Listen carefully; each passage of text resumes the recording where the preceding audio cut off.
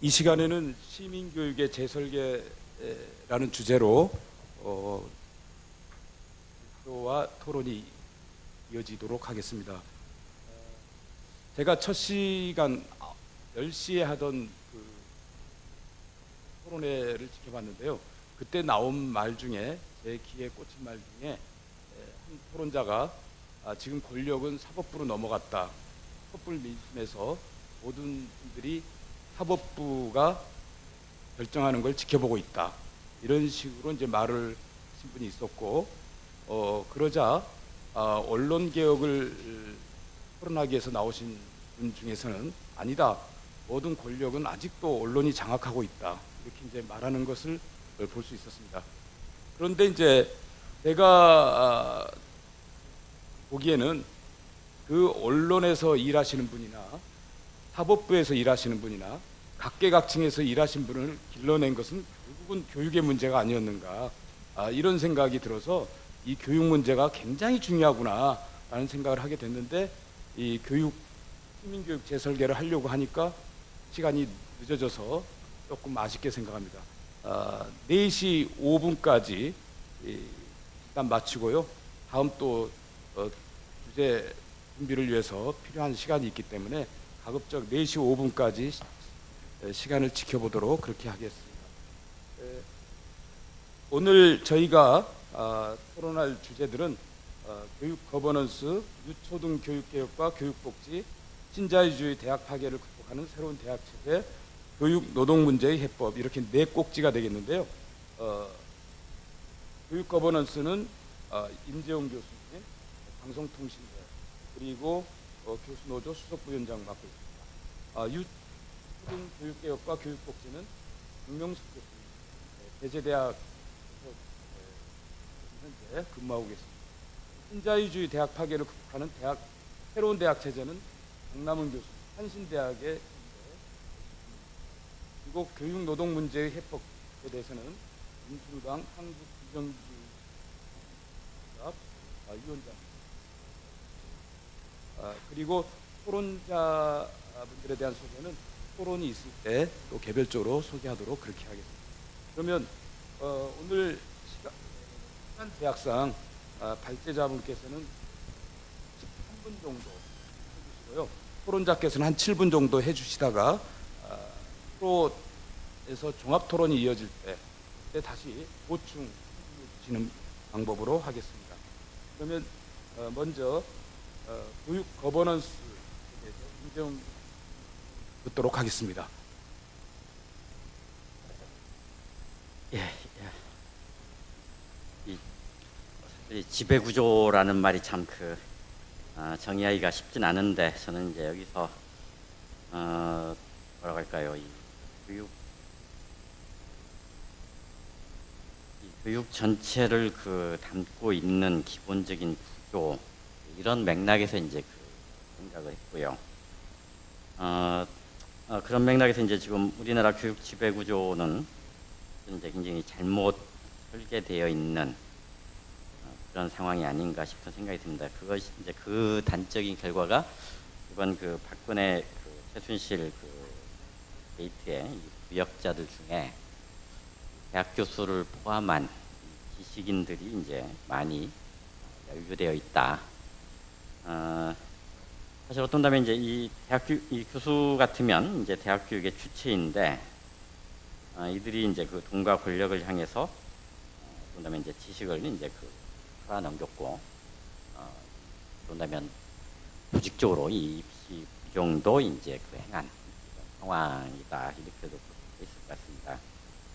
통상 우리가 이제 지식인이라고 한다면 이제 지식을 많이 알고 그래서 이제 판단 능력이 더 좋다 이렇게 이제 통상 그 선입견을 가지게 되는데 그런 그 지식과 판단력을 이제 이상한 데다가 사용을 했다. 그러니까 자신의 이익을 추구하는데 사용을 하게 된다면 과연 그 공동체가 이제 제대로 어, 분립을 할 수 있겠는가? 이거 참 우려스러운 그런 부분이 아닌가 싶습니다. 사실 역사에서 이제 흥망성쇠가 이제 계속 거듭돼 왔는데 되게 나라가 망할 때 보면 되게 이 지식인들이 어, 지식인들의 역할이 어, 그다음에 그런 부정적인 그런 역할을 한 게 아니냐. 그래서 이번 그 사, 사건을 이제 그 되돌아 보면서 이제 뭐 몇 사람 뭐 이화여대 뭐 몇 사람 교수들 뭐 그다음에 직접적으로 청와대에서 뭐그 부여관 이런 몇몇 사람들을 뭐 형사 책임을 물어서 감옥에 보내는 게그 이제 전부는 아니고 어,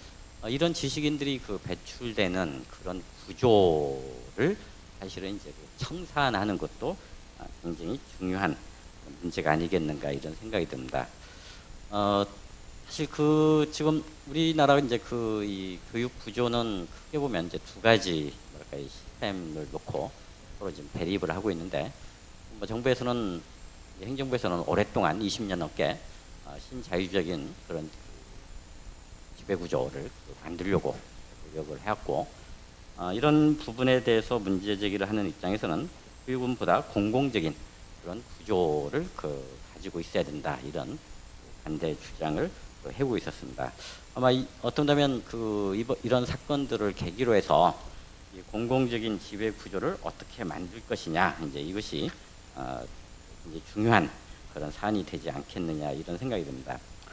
다만 어, 참 어려운 문제들은 많은 것 같습니다. 왜냐하면 그 이 지식인이 이런 그 시스템의 이제 어떤 그 변경만으로 아, 생각들 또는 문화들이 바뀔 수 있겠는지. 왜냐하면은 어, 68페이지에서도 본 것처럼 어, 조선시대 우리나라 지식인들은 끊임없이 이제 권력을 추구하기 위해서 이제 지식을 이제 그 쌓아왔다라는 뭐 이런 문화적 설명도 있고 어떤 다면 이제 시민혁명이 불완전했기 때문에 어떤 그 서구적인 지식인 상까지 가는 데는 좀 아, 거리가 있었다. 이런 것이 이런 그 이, 뭐랄까요? 지적도 있기 때문에 과연 그 이 시스템의 변화 변화만으로 이런 의식을 어, 바꾸는 것이 과연 쉽겠는가? 이런 그 논란도 있을 수 있고요.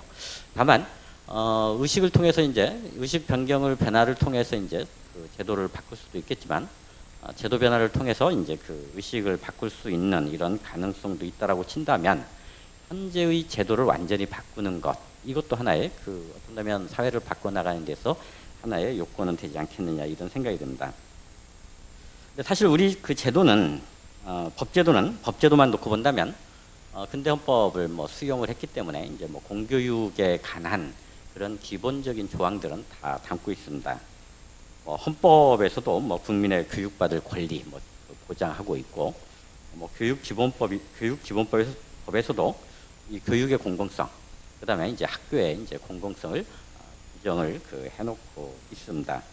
뭐 당연히 뭐 이, 런 그 교육이나 교육 기관의 공공성은 뭐 유아 교육부터 뭐 평생 교육까지 다 적용되는 것이고 특히 고등교육도 어, 그 어, 적용이 어, 되는 걸로 이렇게 어, 되고 있지만 앞에서 봤던 그런 봉건적인 의식 때문인지 이런 것들이 이제 제대로 실현이 이제 되어오지를 못했습니다. 특히 고등교육의 경우에는 아, 이 교육의 어떤 공공성이 전혀 사실은 이제 부정되고 오히려 이것은 사유제로 인식되는 그런 경향들도 아주 강합니다. 즉 열심히 공부해서 오로지 내 이익을 위해서 내 지식을 아, 어떤 다음에 사용한다라는 그런 그 사고 방식인데 어, 우리 사회에서 이런 인식은 사실 그 뿌리가 아까 말한 것처럼 뭐 조선시대 뭐 그 이전까지 뭐 갈 뿐만 아니라 어떤다면 근대 헌법을 그 도입을 했던 뭐 한국 전쟁기에서부터도 어떤다면 그 쉽게 찾아볼 수가 있을 것 같습니다. 이 한국 전쟁기에 이제 그 대학에 입학하면 군입대 이외의 특전이 부여되다 보니까 당시 대학들이 이제 부정 입학이나 이제 무적격자, 무자격자 입학이 많이 성행했던 지금 보면 뭐 지금 벌어지고 있는 것과 차이가 없는 그런 모습이 아닌가. 뭐 70년대나 80년대를 통해 가지고 이 교육 대학을 못 나오면 어, 사람 취급도 받지 못하는 이런 교육 차별 또는 학벌 사회의 모습들이 어떻게 본다면 이 고등교육의 사유제화를 굉장히 이제 강화시켰던 그런 모습인데 사실 이런 것들을 그 극복해 나가기보다는 사실 1995년부터 오히려 더 격화시키는, 더 양극화시키는 그런 그 모습들을 그 가져갔습니다. 특히 이제 531 교육 개혁안이 어떤 면면 경쟁주의 이제 경쟁력 있는 뭐 고등교육 정책, 뭐 교육 정책들을 이제 가지고 오면서 오히려 그 상업화와 이제 그 영리화 현상을 어, 더 강화시키는 그런 현상들을 어, 가져왔습니다. 어, 이것이 이제 20년 동안 어, 진행이 되어 왔죠. 그러다 보니까 어, 지금은 이 뭐랄까요, 이 이제 그 발제문에 이제 69 페이지부터 이제 그 70페이지에 걸쳐서 어, 이런 거 이런 정책들이 어떻게 전개되어 왔는지 뭐그 뭐 서술은 되었습니다만 간단히 말하면 어, 이 대학을 기업으로 보고 이제 고등교육은 이제 하나의 산업 영역으로 봐서 어, 가능하면 교육을 통해서 돈을 벌어라 이제 이런 그 인식들을 어, 강화시켜 왔고 상당 부분은 이미 제도화가 어, 되어 있습니다. 물론 이런 그 정책들이 어, 상당 부분은 실패했습니다. 뭐 대학 설립 자유화 정책 같은 경우는 어차피 그 고등교육을 이제 그 시장 영역으로 보고 마음대로 진입하고 뭐 경쟁에서 지면 뭐 그말 그대로 탈락하는 퇴출되는 그런 그 구조로 이제 그 인식을 시킨 그런 대표적인 그런 정책인데 이것이 한국 토양에서는 이제 부실 부정부패 비리 대학만 잔뜩 양상 양산시켜 놓은 그런 결과를 어, 가져왔습니다. 어, 대학 자율화 정책 같은 경우는 이제 뭐 그 국립대학을 이제 사립화 시켜가지고 국가의 재정 보조를 삭감하는 그런 정책이고요. 지금 이런 정책들이 실패하고 난 이후에도 이제 교육부는 이제 인위적인 경쟁 강요 정책을 피고 있습니다. 어, 말 그대로 국가가 이제 그 경쟁을 외적으로 강제해가지고 거기서 좋은 평가를 받으면 뭐 재정 교부금을 많이 주고 어, 말 그대로 이제 등급이 안 좋으면 입학 정원을 감축시키는 이런 정책을 어, 펴오고 있습니다. 여기에 대해서는 누구도 이제 신뢰하지는 않는데 그럼에도 불구하고 기존의 교육에 대한 인식 때문인지 어, 본다면 이 교육부의 정책에 이제 대부분 이제 그 복, 불복하는 그런 그 모습들을 이제 아직까지 어, 보여주고 있습니다. 물론 이런 그 신자유주의 정책만 문제된 것이 아니고 이제 그 71페이지에서 말한 어, 것처럼 어, 이미 대학이 서열화되어 있고 그 다음에 이제 학벌 사회가 이제 그 형성이 돼 있는 그러다 보니까 어, 이런 것은 사회 변화에도 이제 어떤 다면 제대로 적응도 못하는 입시 위주의 이제 그런 암기 교육만 계속 어, 강화시켜온 그런 결과를 그, 그 빚어내게 됩니다. 그래서 우리나라에서는 학벌 사회를 해체하고 어, 대학 서열 체제를 어떻게 완화시킬 것인지 물론 더 멀리 나가서 이 대학 서열 자체를 아예 없애버릴 수 있다라면 그것은 현재의 어떤 뭐랄까 이런 지식인 적폐 문제 해결에 굉장히 큰 도움이 되지 않겠느냐. 근데 이런 것을 하, 그 해결하는 데는 너무나 환경이 어, 좋지는 않습니다. 무엇보다도 이 사립대학 위주로 이제 고등교육 체제가 아, 짜여져 있다 보니까 이런 사립대학들이 대학의 어떤 그 경쟁과 서열에 너무 익숙해졌고 그런 환경들을 계속 어, 오히려 재생산하는 이런 그 구조들을 어, 만들어 내고 있습니다. 그래서 이런 상황에서 이제 대안은 결국은 신자유적인 그런 그 지배 구조에서 이제 공공적인 그런 그 구조로 이렇게 이제 가는 것만이 대안이 아니냐 이런 그 생각이 듭니다. 사실 이 교육이란 것은 어 굉장히 많은 그런 그 무형적인 그런 효과들을 만들어냅니다. 어 정치적으로 본다면 이제 민주주의 민주주의 유지와 발전에 이제 교육은 아 굉장히 큰 효과를 그 발휘하게 되죠. 어, 말 그대로 많은 지식을 이 공동체를 위해서 이제 사용을 할 수 있다라 있다라고 한다면 적어도 어, 아마 이전 10년간 우리가 봤던 이런 그 행정부는 아마 존재하지 않았을 거다 이런 생각이 듭니다. 어, 실제로 이제 그 많은 국가에서 이 고등교육을 이수한 사람들이 아, 이 정치적 선거를 하는 데 있어서 좀 더 올바른 그런 판단을 할 수 있다라는 것은 이미 경험적으로 이제 증명이 되고 있고요. 그다음에 지식 생산을 통해서 이제 경제적인 이런 부를 창출을 함으로써 이제 경, 이 뭐랄까요 공동체의 어떤 그 뭐랄까요 이 경제적인 삶을 어, 유지시켜주는 그런 그 이제 기능도 이제 교육은 하고 있고요. 그다음에 사회적으로 본다면 이제 인권 보장과 범죄의 감소, 그다음에 인간적인 공동체의 유지와 같은 여러 가지 눈에 보이지 않는 무형화된 그런 어, 이익들이 어, 있기 때문에 이런 교육의 공동 그 공공적인 그런 가치들을 어, 만들어내는 그런 교육 시스템을 설계하는 것이 굉장히 중요하다라는 그런 생각이 듭니다.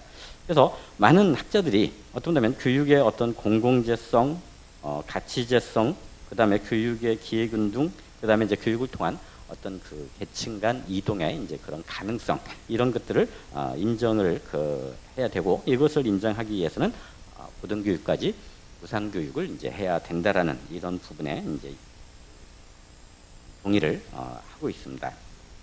어, 이거 이런 그 교육에 대한 그 공공재성에 대한 인정은 결국은 이제 대학에 대해서도 공적 책임을 어, 인정해야 된다라는 어, 그런 그 결과로 어, 이, 이열되고 있습니다. 그 73페이지 두 번째 단락에 있는 것처럼 어, 이런 그 논의 속에서 이제 독일 대학이 이제 전면 무상 체제로 다시 어, 복귀를 한 그런 그 사례가 있고요.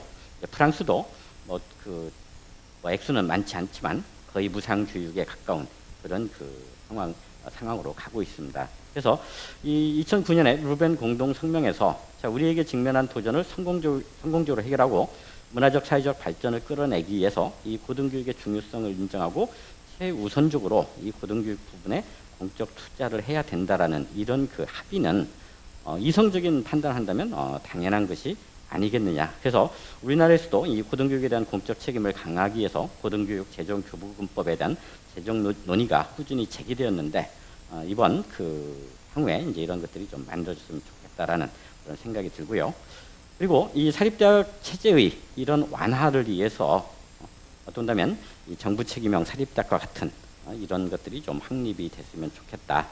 어, 더불어서 이 학문의 자유와 이제 대학 자치도 이 확립이 돼야만이 어떤다면 이런 그 지식인 적폐 문제를 어, 해결할 수 있지 않겠느냐. 그리고 어, 제가 마지막으로 드리고 싶은 말씀은 75페이지에 있는데 이 고등교육의 공적 기능을 이제 강화하기 위해서 누구나 다 고등교육에 접근할 수 있도록 해야 되는데 원한다면 돈이 없어서 교육을 못 받는 그런 일은 없어야 되겠다. 그렇지만 그 반대로 현재처럼 교육에 대한 의사가 없는데도 불구하고 강제적으로 교육을 받아야 되는 이런 일도 어, 없어지는 것이 우리 교육이 어, 추구해야 될 그런 그 구조가 아니겠는가 이런 말씀을 드리면서 예, 제 일단 발전은 이걸로 먼저 마치도록 하겠습니다. 감사합니다. 네, 수고하셨습니다. 아, 어, 좀 추가적으로 보완이 필요한 부분은 어, 토론 시간에 다시 듣도록 하겠습니다. 어, 내용을 듣다 보니까 아, 주로 대학 문제가 많이 다뤄져서요. 어, 순서를 좀 바꿔서 어, 강남은 신자유주의 대학 파괴 극복하는 새로운 대학 를 먼저 하는 것이 좀 좋겠다는 생각이 듭니다.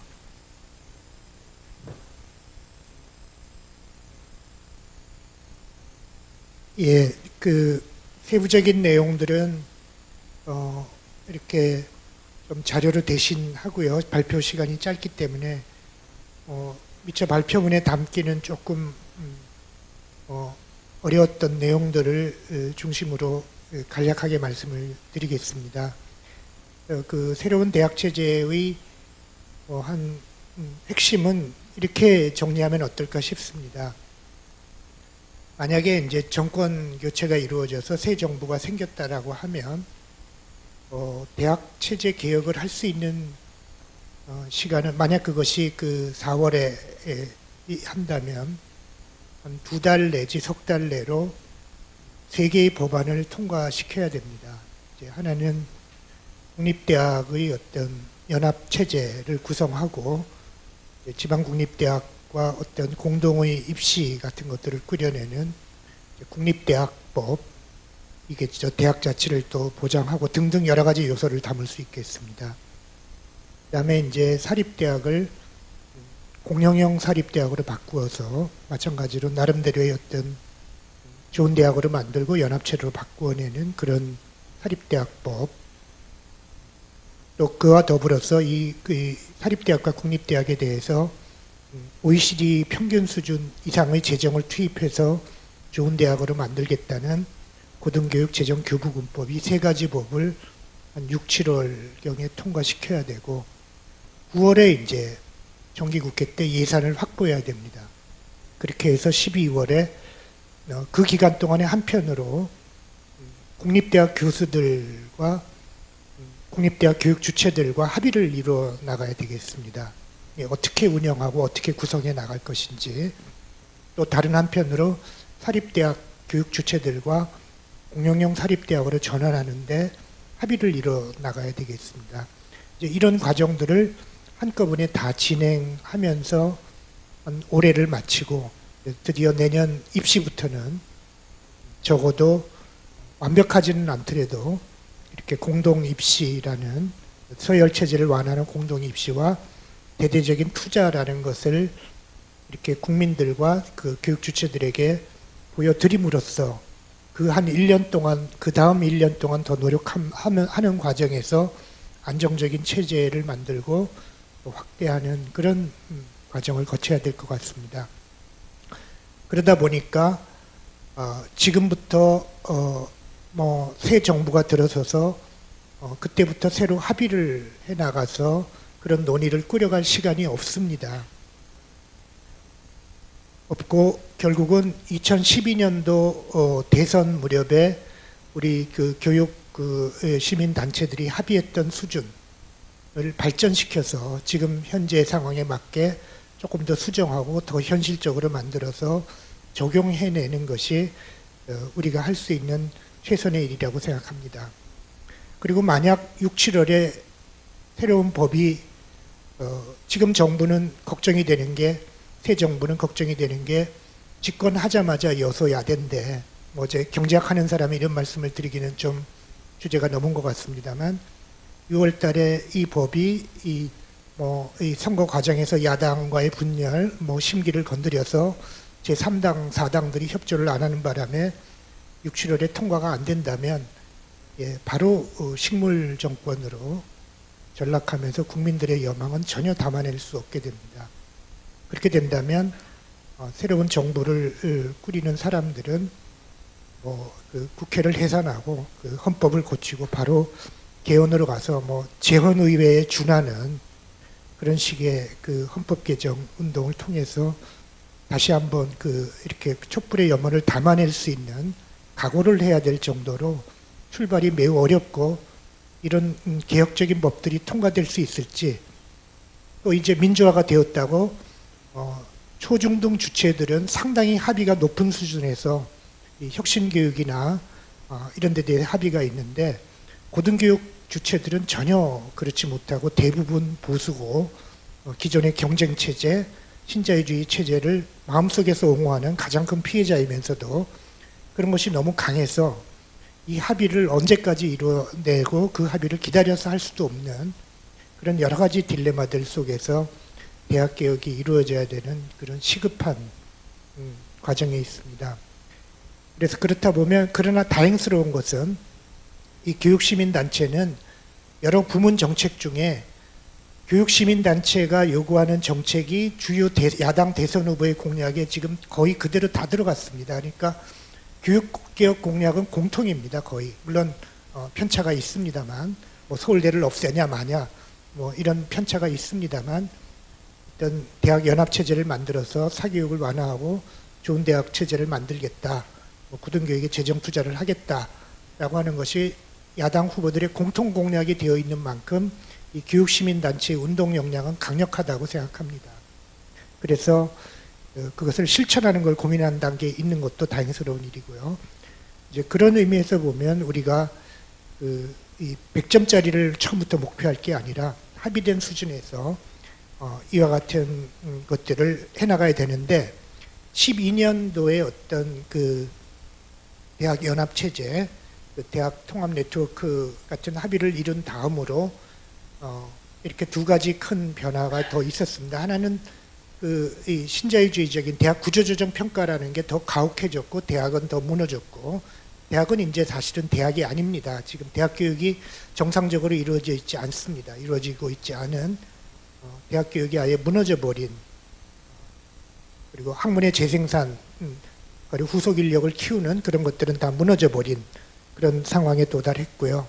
그리고 그 와중에서 4차 어, 산업혁명이라는 그 이 한국적인 이 기존의 그 경쟁 어, 입시 교육으로는 도저히 감당할 수가 없는 새로운 산업혁명의 물결이 전 세계를 휩쓸고 드디어 이제 우리가 뭐 선진국을 따라가기는커녕 이제는 음, 뭐 중국보다도 뒤처지는 4차 산업혁명에서 어, 그와 같은 식으로 해서 이, 이 교육을 바꾸지 않고는 사실은 이 새로운 이, 이 기술 변화의 이 파도를 넘어갈 수도 없는 그러한 절실한 필요성들이 이제 더 생겼다. 뭐 그렇게 얘기할 수 있겠습니다. 그래서 보면은 예, 뭐 제일 마지막에 좀 보시면서 오늘 토론에서 약간의 그 토론을 위한 화두를 더 이, 던지 려고 합니다만 이제 92쪽과 3쪽에 약간의 질문과 답변을 제가 오늘 토론을 위해서 적어놨는데요. 연합체제가 될까? 할때 이제 저는 한마디로 강제로 편입시키지는 않는다.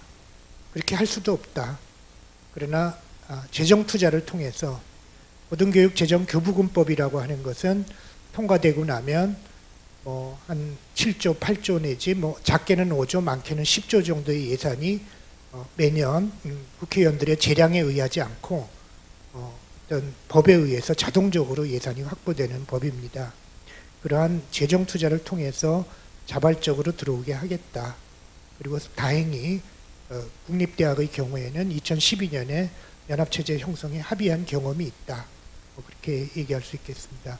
사립대학의 경우에도 마찬가지고요.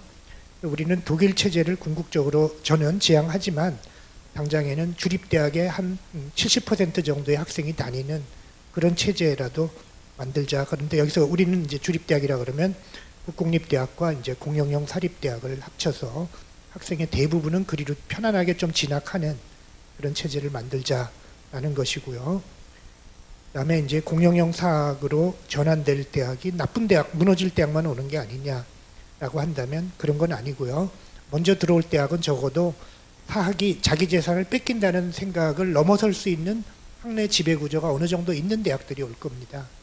그런 대학들은 대개 대개는 좋은 대학들일 테니까 그래서 어느 정도는 교수와 학생의 위상이 보장되고 사학 재단의 입김이 약한 그런 대학들부터 들어올 테니까 어, 그것으로 시작을 하고 종교사학의 경우에는 제 생각입니다만 공기사를 50% 이상 임명할 때 그 종단 소속 신도 대표나 성직자 중에서 정, 에, 국가가 국가기관이 임명한다면 어, 서로의 어떤 어, 그래서 절충을 할 수 있을 것이다 라는 이야기를 했고 어, 개인적인 소견으로 저희 그 학교 재단 목사님들한테 여쭤봤더니 뭐 그 정도는 충분히 받을 수 있겠다라는 그런 견해들을 받았습니다. 93쪽에 가보시면 그 서울대, 연고대 등 소위 인류대학이 안 들어오면 사교육 입시 경쟁이 사라질까라고 할때 어, 서울대를 가능하면 들어오게 권고를 하고 특수한 지위를 인정을 해주되 그러나 서울대 구성원들의 자율적 선택에 맡길 수밖에 없다. 이 논쟁을 하느라고 1년을 낭비할 시간이 없다. 그래서 나머지부터라도 시작할 수밖에 없고 궁극적으로 지방의 여러 국공립대학들이 서울대학 수준의 대학이 되지 않은 채로 어떤 음, 개혁과 입시를 바꾸어서 사교육 입시 체제를 완전히 해소하는 건 불가능하다. 그리고 그런 의식혁명을 같이 거쳐가야 되는데 그러나 다행스러운 것은 대학이라고 하는 것은 어, 초중등 교육하고 달라서 재정 투자, 연구가 아, 중심이 되는 체제이기 때문에 어, 이렇게 재정 투자에 비례한다. 포항공대 같은 것들 뭐 예를 들자면 그래서 이런 재정을 통해서 체계를 만들고 이렇게 완벽하지 않지만 처음부터 이렇게 만들어내는 초단기에 만들어내야 되는 과제에 있는데 다행스럽게 이 교육 쪽은 이렇게 공통의 공약으로 만드는 데까지 갔고 적어도 교육 운동 시민 단체들의 의식 수준은 상당히 통일된 어떤 안을 갖고 있어서 어려운 정치 여건 속에서도 헤쳐나갈 가능성이 있지 않을까 이렇게 생각합니다. 네, 발표를 마치겠습니다. 짧은 시간 내에 핵심 포인트를 짚어주셨는데요. 예, 대학 연합 체제에 대한 여러 가지 많이 해주셨습니다. 어, 이번에는 어, 유 초중등 교육 개혁과 어, 교육복지에 대해서 발제해 주시겠습니다. 예, 반갑습니다. 어, 유초중등 교육개혁과 교육복지를 맡은 강명숙입니다. 준비된 발제문을 조금씩 조금씩 뛰어 넘어가면서 이런 방식으로 하겠습니다. 사실 오늘 토론회가 기획된 뭐 목적에 맞게 어, 원고를 쓰려고 하다 보니까 가능하면 내 목소리보다는 시민단체, 시민사회단체에서 논의되고 있는 것들 종합해서 큰 그림을 그리는 방식으로 글을 쓰려고 했습니다. 그러다 보니까 구체적 시행 방안 이런 것들은 놔두고 큰 그림 쪽으로만 이야기합니다. 가장 큰 음, 여기 계속 앞에 발제분들도 이야기했지만 이게 이제 교육 정책의 패러다임이 필요, 어, 전환이 필요하다. 아, 신자유주의 교육 정책이 됐고 아마 교육부에서도 어, 정책 추진자들이 신자유 교육 정책이 안 된다라고 하는 게 이번 촛불을 통해서 민족으로 합의되지 않았나 이런 생각이 듭니다. 그래서 하여튼 교육 정책의 패러다임이 전환이 필요합니다. 두 번째로는 교육부가 사실은 이제 이 문제를 해결할 수 있는 능력이 있느냐 저는 능력이 없다고 봅니다. 자, 작년 12월에 2030 미래교육 청사진 이렇게 해서 뭐 4차 혁명, 뭐 지능정보 사이에 맞는 미래교육 화려한 수식으로 어, 청사진을 냈는데 읽어보고 너무 실망했습니다. 전국의 전문가들과 다 합쳐서 몇 번의 그 토론 과정을 거쳐서 만들었다는데 내용이 너무 빈약해서 이게 미래에 대한 기획인지 1년 뒤의 기획으로도 부정할 정도의 그 청사진이어서 사실 교육부에는 이런 능력이 없다. 그 다음에 이제 유초등등 교육 개혁과 관련해서 한가 짚어야 될 것은 아마 이제 시도교육청을 비롯한 어, 지역교육자치단체가 이룬 성과입니다. 그래서 이 성과를 어, 지역, 지자체 수준에서 교육청 수준에서 그걸 이어받고 확산시키는 것도 필요하지만 그와는 또 별도의 문제로 또 다른 어, 수준에서 국가 차원에서의 큰 틀의 개혁, 지금 시점에서는 국가 수준의 큰 틀의 개혁, 그러니까 지자체에서 교육청에서의 성과를 국가 수준에서 확산한다거나 할 때 그쪽에서는 불가능 역할 분담성 불가능하지만 국가 수준에서 고민해야 될 게 뭐냐? 그걸 조금 제기해야 될 시점이다. 그런 관점 속에 가지 이야기하겠습니다. 현황과 문제점은 어, 뭐 다 이미 다 아시고 계시고 곳에서 이야기를 하고 있으니까 넘어가겠습니다. 이제 하나 좀 우려되는 사항은 우리가 이제 시도교육청에서 여러 가지 개혁 정책을 쓰면서 어, 여러 가지 이야기를 하고 있는데 여전히 음, 자유주의 교육 담론 안에서 논의되고 있는 측면이 많다. 그 부분에 대해서 우리가 한번 점검을. 그다음에 이제 이번 사태에서도 드러났듯이 교육 비리입니다. 70년대까지 해서 어느 정도 입시 제도에서 이 비리나 이런 것들 해결됐다고 생각을 했고 또 우리가 이제 교육 청지나 뭐 이런 교육 관련된 관행 이런 것들이 많이 개선됐다고 생각했는데 이게 여전히 아니었다라는 게좀 드러난 것 같습니다. 그래서 신자유주의 담론에서 벗어난 부분에 관해서는 확실히 이번에는 좀 짚고 넘어가야 이런 대안 중심으로 이야기를 했는데요. 어, 기존에 여러 단위에서 어, 이런 그 제안들이 많이 있었습니다. 그래서 그 제안들을 조금 저는 묶으면서 국가 수준에서 한다면 큰 아젠다로 던질 수 있는 게 뭔가 의 차원입니다. 구체적으로 들어가면 단위마다 생각이 다르고 그럴 수 있지만 큰 이야기를 하자면 첫 번째 주장은 학교 제도를 새롭게 디자인하자 이런 건데 예, 해방 이후에 형서 1945년 교육법에 의해서 만들어진 예, 6344 학제 이거 안 건드리고 입시제도 바꾸고 고교 체제 내에서 아무리 해봐도 그거는 이제 불가능이라고 봐요. 누가 나와도 아, 그 하늘에서 신이 내려와서 이 문제를 해결해도 어, 고민해도 학제 문제를 다스리지 않고는 곤란하다. 사회적 조건도 많이 변했고 그 다음에 인간 발달 학생들의 성장에 관한 생각도 달라졌고 학생과 비학생에 대한 고민도 달라졌고 그래서 지금쯤은 어, 만약에 이제 이 뭐지 학교 제도를 다시 어떻게 개편할 것인가에 관한 본격적인 논의를 해야 된다. 아까 강남호 선생님은 뭐 이제 내년에 뭐 정권이 이렇게 해서 빨리 해야 될 것 이야기했는데요. 이거는 정권이 마칠 때쯤 아젠다를 제기 마칠 때쯤 변화되어 이룰 수 있는 건 어, 이런 이야기입니다. 그래서 아까 전에 제가 교육부 이야기했지만 이런 학교 제도를 어떻게 새롭게 디자인할 것인가 어, 흔히 이제 교육학자들하고 이야기하면 학제를 바꿀 수 있는 그 정도 막강한 교육부 장관 또는 교육부 권력이 가능할까 이런 건데 중앙 권력의 막강한 힘에 뒷받침되는 교육 개혁 이거는 이제 불가능하다고 봅니다. 뭐 여러 가지 역사에서 많이 있는데 그거 불가능하고요. 또 하나는 무슨 위원회 뭐 이렇게 해가지고 중앙 정부의 지원을 받는 교육 분야 전문가들이 모여가지고 하는 교육 개혁 그것도 불가능하다고 생각합니다. 그래서 사실 이제 촛불 민심에서 보여줬듯이 사회적 합의를 이끌어내는 지난한 과정 중에서 나오는 정책 아이디어 이런 것들 위해서 부분적으로 다행히 이제 차원에서 들어온 시도를 한번 해보고 예를 들면 뭐 네? 아, 그렇게 예, 학교 제도를 새롭게 디자인하는 걸 좀 해봐야 되겠다 이런 이야기입니다. 그래서 저는 어, 새로운 정부가 들어선다면 이거 하나만 아젠다로 어, 정권 기간 내내 가면서 사회적 합의를 만들어내고 창출해낸다면 저는 큰 성공이라고 봅니다. 그래서 어, 복- 보교개혁 그다음에 대학 이야기하지만 학교 제도를 새롭게 디자인하는 거.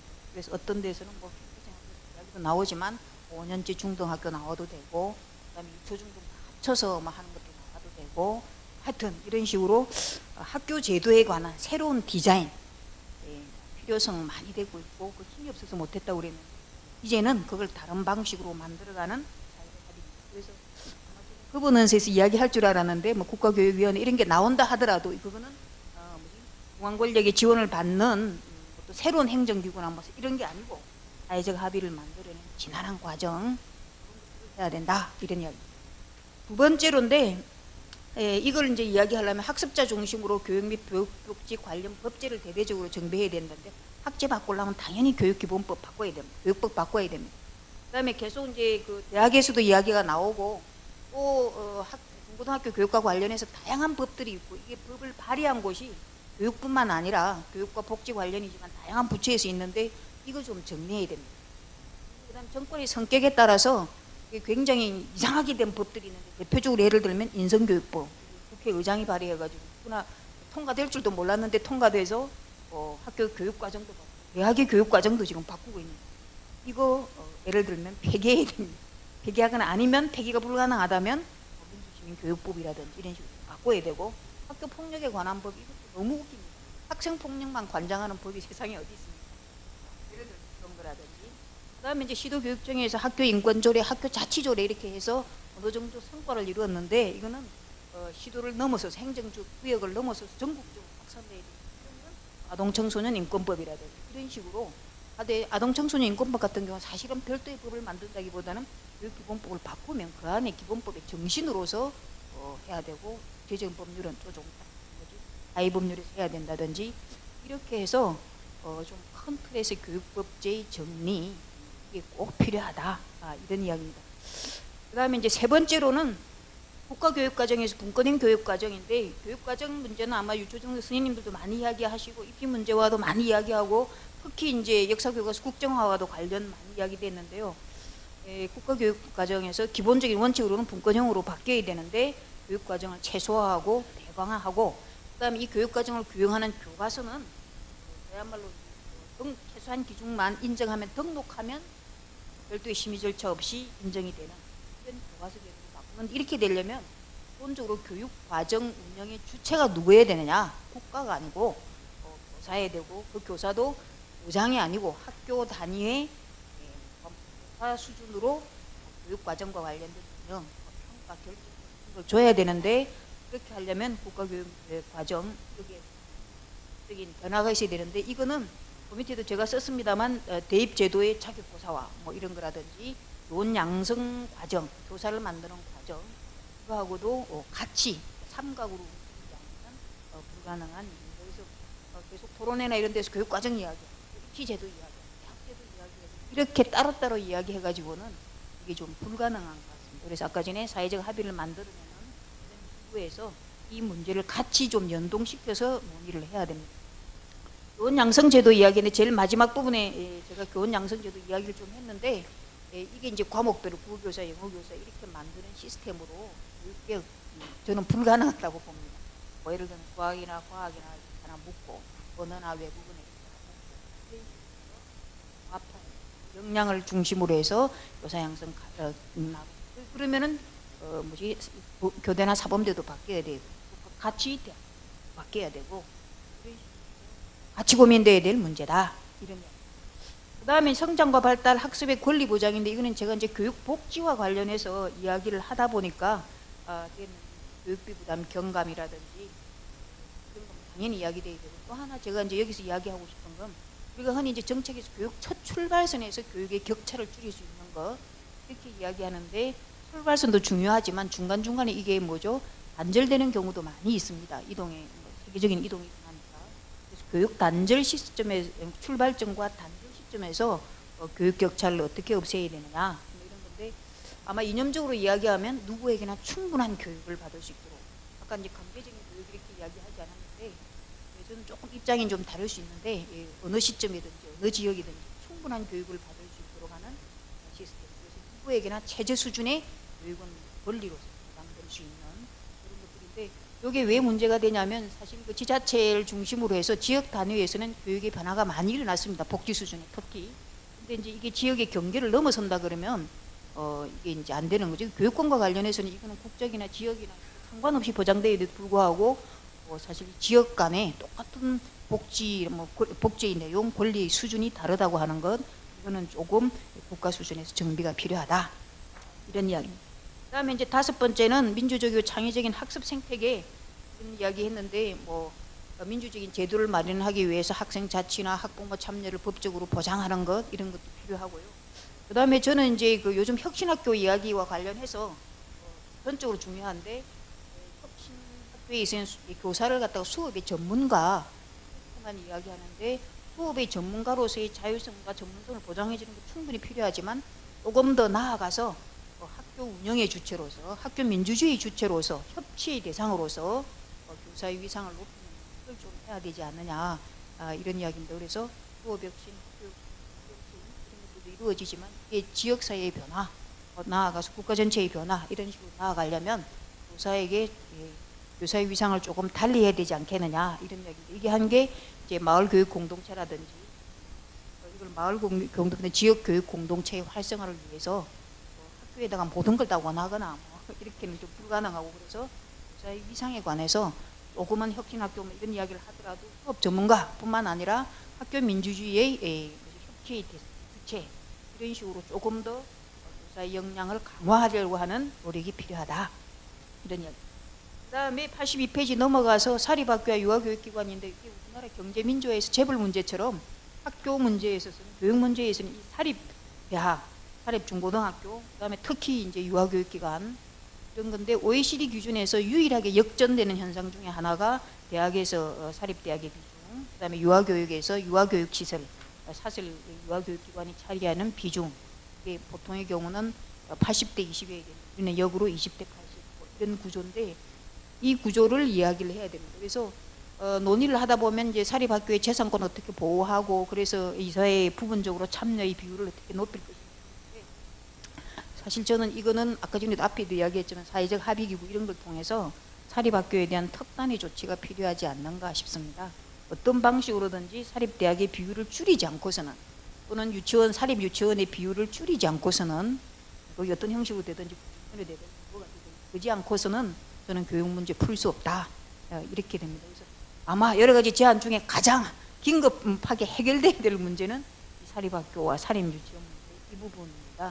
그래서 계속 그 교육부나 입법부에 맡겨놓으면 재산 보호 뭐 이런 이야기만 하는데 에, 자유민주주의 사회에서 재산권의 보호 이런 것도 중요하지만 음, 교육의 공공성 이야기 계속 하는데 이게 하나의 사회적 합의로서 강제되지 않는다면 저는 에, 사립학교 문제 이게 문제되지 해서 그래서 이 사립학교에서 80%가 넘는 사립대학에서 교육 비리 문제 이 문제 해결되지 않고서는 예를 들면 20세대 아무리 뜯어 고치고 교육과정 아무리 바뀌어도 애들은 공식적인 교육 과정에서는 그런지 몰라도 체험적으로 뭐 비리가 어떻게 재생되고 세상 일이 어떻게 돌아가는지 알고 있는데 애들에게 교육을 통해서 희망을 준다 이건 쉬운 문제가 결코 아니라고. 그래서 아마 가장 긴급을 어, 요해야 될 문제가 있다면 사립 유치원과 사립 대학에 관한 이게 좀 필요한 것 같습니다. 그 다음에 이제 교사교육 대개혁과 이거는 제가 아, 다룬 이유는 우리 교육계 인력 구성의 다양화 이 부분입니다. 아, 교사 중심으로 학교가 움직이는 것도 아니고 아까 그래서 학교 민주주의 위해서 협치 능력이 필요하다고 이야기했는데 교사 중심의 교육 개혁은 조금 어려울 것 같습니다. 그래서 학교에서 우리도 모르게 굉장히 다양화된 인적 구성 이 부분 문제에 관해서 적절한 역할과 지휘 분배 이런 것들이 되지 않으면 어, 굉장히 좀 어렵다. 계속 이어서 이야기하겠지만 교육계의 비정규직 문제가 이렇게 야금야금씩 에, 그 포션이 넓어져서 굉장히 또 빨리 선결하지 않으면 해결되지 않는 그래서 제가 이야기하고 싶은 거는 교육계 인력 구성의 다양화 아, 이거에 맞게 우선적으로는 교사 교육, 양성 교육부터 조금 바꿔야 된다. 그래서 자격이나 과목 중심으로 이렇게 이제 무관화되어 있는 것들을 어, 넘어서지 않는 어, 어, 학교 민주주의나 학교 교육 개혁 어렵다 이런 이야기. 8번은 그냥 넘어가도록 하겠습니다. 이상입니다. 수고하셨습니다. 어, 지금까지 어, 교육 거버넌스 그리고 대학 체제 문제 그리고 유초중 등 교육 문제 이런 것을 다뤘는데요. 이번에는 어, 교육 현장에서의 심각한 노동 문제를 또 다루지 않을 수 없습니다. 이 문제에 대해서는 어, 임순광 한국교정교육위원장 위원장 네, 요즘 정치 교체, 뭐 정권 교체 얘기를 많이 하는데요. 저희들은 체제를 교체해야 된다라고 이야기하고 있습니다. 체제 중에서도 이제 교육 체제를 근본적으로 재편하는 활동들에 같이 하고 있고 그 체제 개편의 방향은 무엇인가? 사람을 위한 체제로 가야 된다 생각을 하고 있습니다. 교육 현장에서 만연해 있는 교육 노동 문제의 핵심은 사람을 존중하지 않기 때문에 발생하는 것입니다. 학교를 그 공적인 영역으로 간주하기보다 이윤 추구의 도구, 기업 경영 방식으로 운영되는 그런 하나의 사적 소유물 형태로 보기 때문에 비정규직이 양산되고 공공성은 약화되고 그 정규직과 비정규직 간의 격차, 교원과 비교원 간의 격차 이런 부분들이 계속 벌어지면서 그 안에서 민주가 퇴보하고 불평등이 심화되고 이런 문제들이 계속 확대 재생산되고 있다. 그 현장에서 보고 배우고 자란 학생들이 어떻게 사회로 나갔을 때 다른 사람을 존중하라고 차별하지 말라고 착취하지 말라고 이야기하겠습니까? 유아 때부터 초등학교 때부터 수십만 명의 비정규직들을 보면서 자라는 학생들이 어떻게 그 인권 감수성이나 노동 감수성을 내면할 수 있겠습니까? 우리가 새로운 나라를 만들기 위해서는 교육 현장에서부터 바로 이런 부분들을 바로 잡아가야 된다 생각이 들어서 교육 주제인데 교육 노동 파트를 따로 만들어서 좀 같이 논의했으면 좋겠다라는 취지에서 이 파트가 들어간 것이고요. 금방 말씀드린 바와 같이 그 95쪽 앞부분 현황에서 동그라미 1번이 그그 를 대표해 준다고 봅니다. 경향신문에서 작년에 노동절 때 의식 조사를 했는데 초등학생들 노동은 부정적인 것이다라고 63%가 답을 합니다. 그리고 학생들한테 묻습니다. 나중에 뭐가 되고 싶냐? 노동자는 되고 싶지 않다. 대부분이 노동자가 되잖아요. 그러니까 그리고 만 시간이 넘는 교육 시간 중에 노동 관련돼가 배- 배치된 시간은 5시간입니다. 이게 이제 우리 현실을 보여주는 것이죠. 이런 데서 교육 노동 문제의 그 해결을 바라는 것은 원천적으로 불가능하다. 그래서 체제를 좀 바꿔야 된다 그런 얘기입니다. 뭐 앞부분에 뭐 시- 실태하고 쭉 나와 있는 건 좀 건너뛰도록 하겠습니다. 그리고 97쪽에 뭐 그래도 이미지가 하나 있어서 교육 공무직 본부에서 만들어 놓은 그림입니다. 97쪽에 이거는 초, 초중등뿐만 아니라 고등교육에도 그대로 적용될 수 있는 것인데요. 교육 활동에 종사하는 교원 이때 교원은 전임 교원 또는 정교사를 의미합니다. 법적인 교원이고 그 다음에 교원 외로 되어 있는 사람들은 교원의 역할은 하지만 법적으로 비전임 교원으로 간주되어 있는 사람들이라 보시면 되겠습니다. 뭐 시간 강 대학 시간 강사를 비롯해서 다 여기 포함되는 것이죠. 그 다음에 행정 및 교육 지원에서 공무원하고 직원들이 있는데 맨 아래쪽에 그 일을 하지만 비정규 직원들이 있는데 이분들이 어, 초중등 학교에 있는 학교 비정규직이라고 불리죠. 예, 규모가 위에 나와 있지만 한 40만 명 가까이 되고요. 실제 인원을 더 찾아보면 더 훨씬 많다고 합니다. 어, 그래서 생각을 해보면 초중등 학교에 있는 교사, 교사 몇십만 명 되죠. 교사 그리고 뭐 여기 나와 있는 학교 비정규 기간직에서도 포함시켜 놨으니까 이렇게 합치면 아마 한 공무원까지 다 합치면 7, 80만 명 정도가 있을 거고 노동자가 학교 안에 정규직 비정규직 반반 정도 보고 대학으로 가게 되면 정규 교수가 한 8만 명 조금 넘고요. 시간 강사를 비롯한 비전임 교원이 10만 명이 좀 넘습니다. 조금 더 많습니다. 숫자로 보면 어, 거기에다가 그 직원들 중에서도 대학교에 비정규 교직원도 있고 그렇게도 간주 안 되는 용역으로 들어온 분이 엄청나게 많습니다. 서울대만 해도 천 명이 넘습니다. 이런 사람들이 숫자가 잘안 잡히거든요. 이런 분들을 포함하면 적어도 그 교육 현장에 있는 노동자의 수는 120만 명은 넘는다. 그 중에 비정규직은 6, 70만 명 정도를 헤아리는데 여기에 대해서 대책은 거의 없고 크게 보면 총액 인건비 제로 묶어서 내부에서 서로 싸우도록 만드는 구조가 있기 때문에 아래쪽을 조금 낮게 해주려고 하면 위쪽에서 반발하는 예. 예, 일을 내가 더 해야 되는 것 아니냐 아니면 내한테 들어올 보너스가 줄어드는 것 아니냐라는 이런 문제들이 사실 발생하게 되어 있습니다. 그 단적인 사례가 작년 11월에 있었던 교육 공무직법을 둘러싼 논쟁이었죠. 격렬한 논쟁이 있었죠. 2012년도에 만들어진 법이었는데 당연히 통과될 거라고 생각을 하고 올렸는데 학교 현장에서 교사, 공무원, 그 외 다른 직원들에 의해서 행정 직원들까지 포함해서 이유는 다양합니다. 격렬하게 반대가 들어와서 결국은 유은혜 의원이 법안을 처리하는 소동이 벌어졌습니다.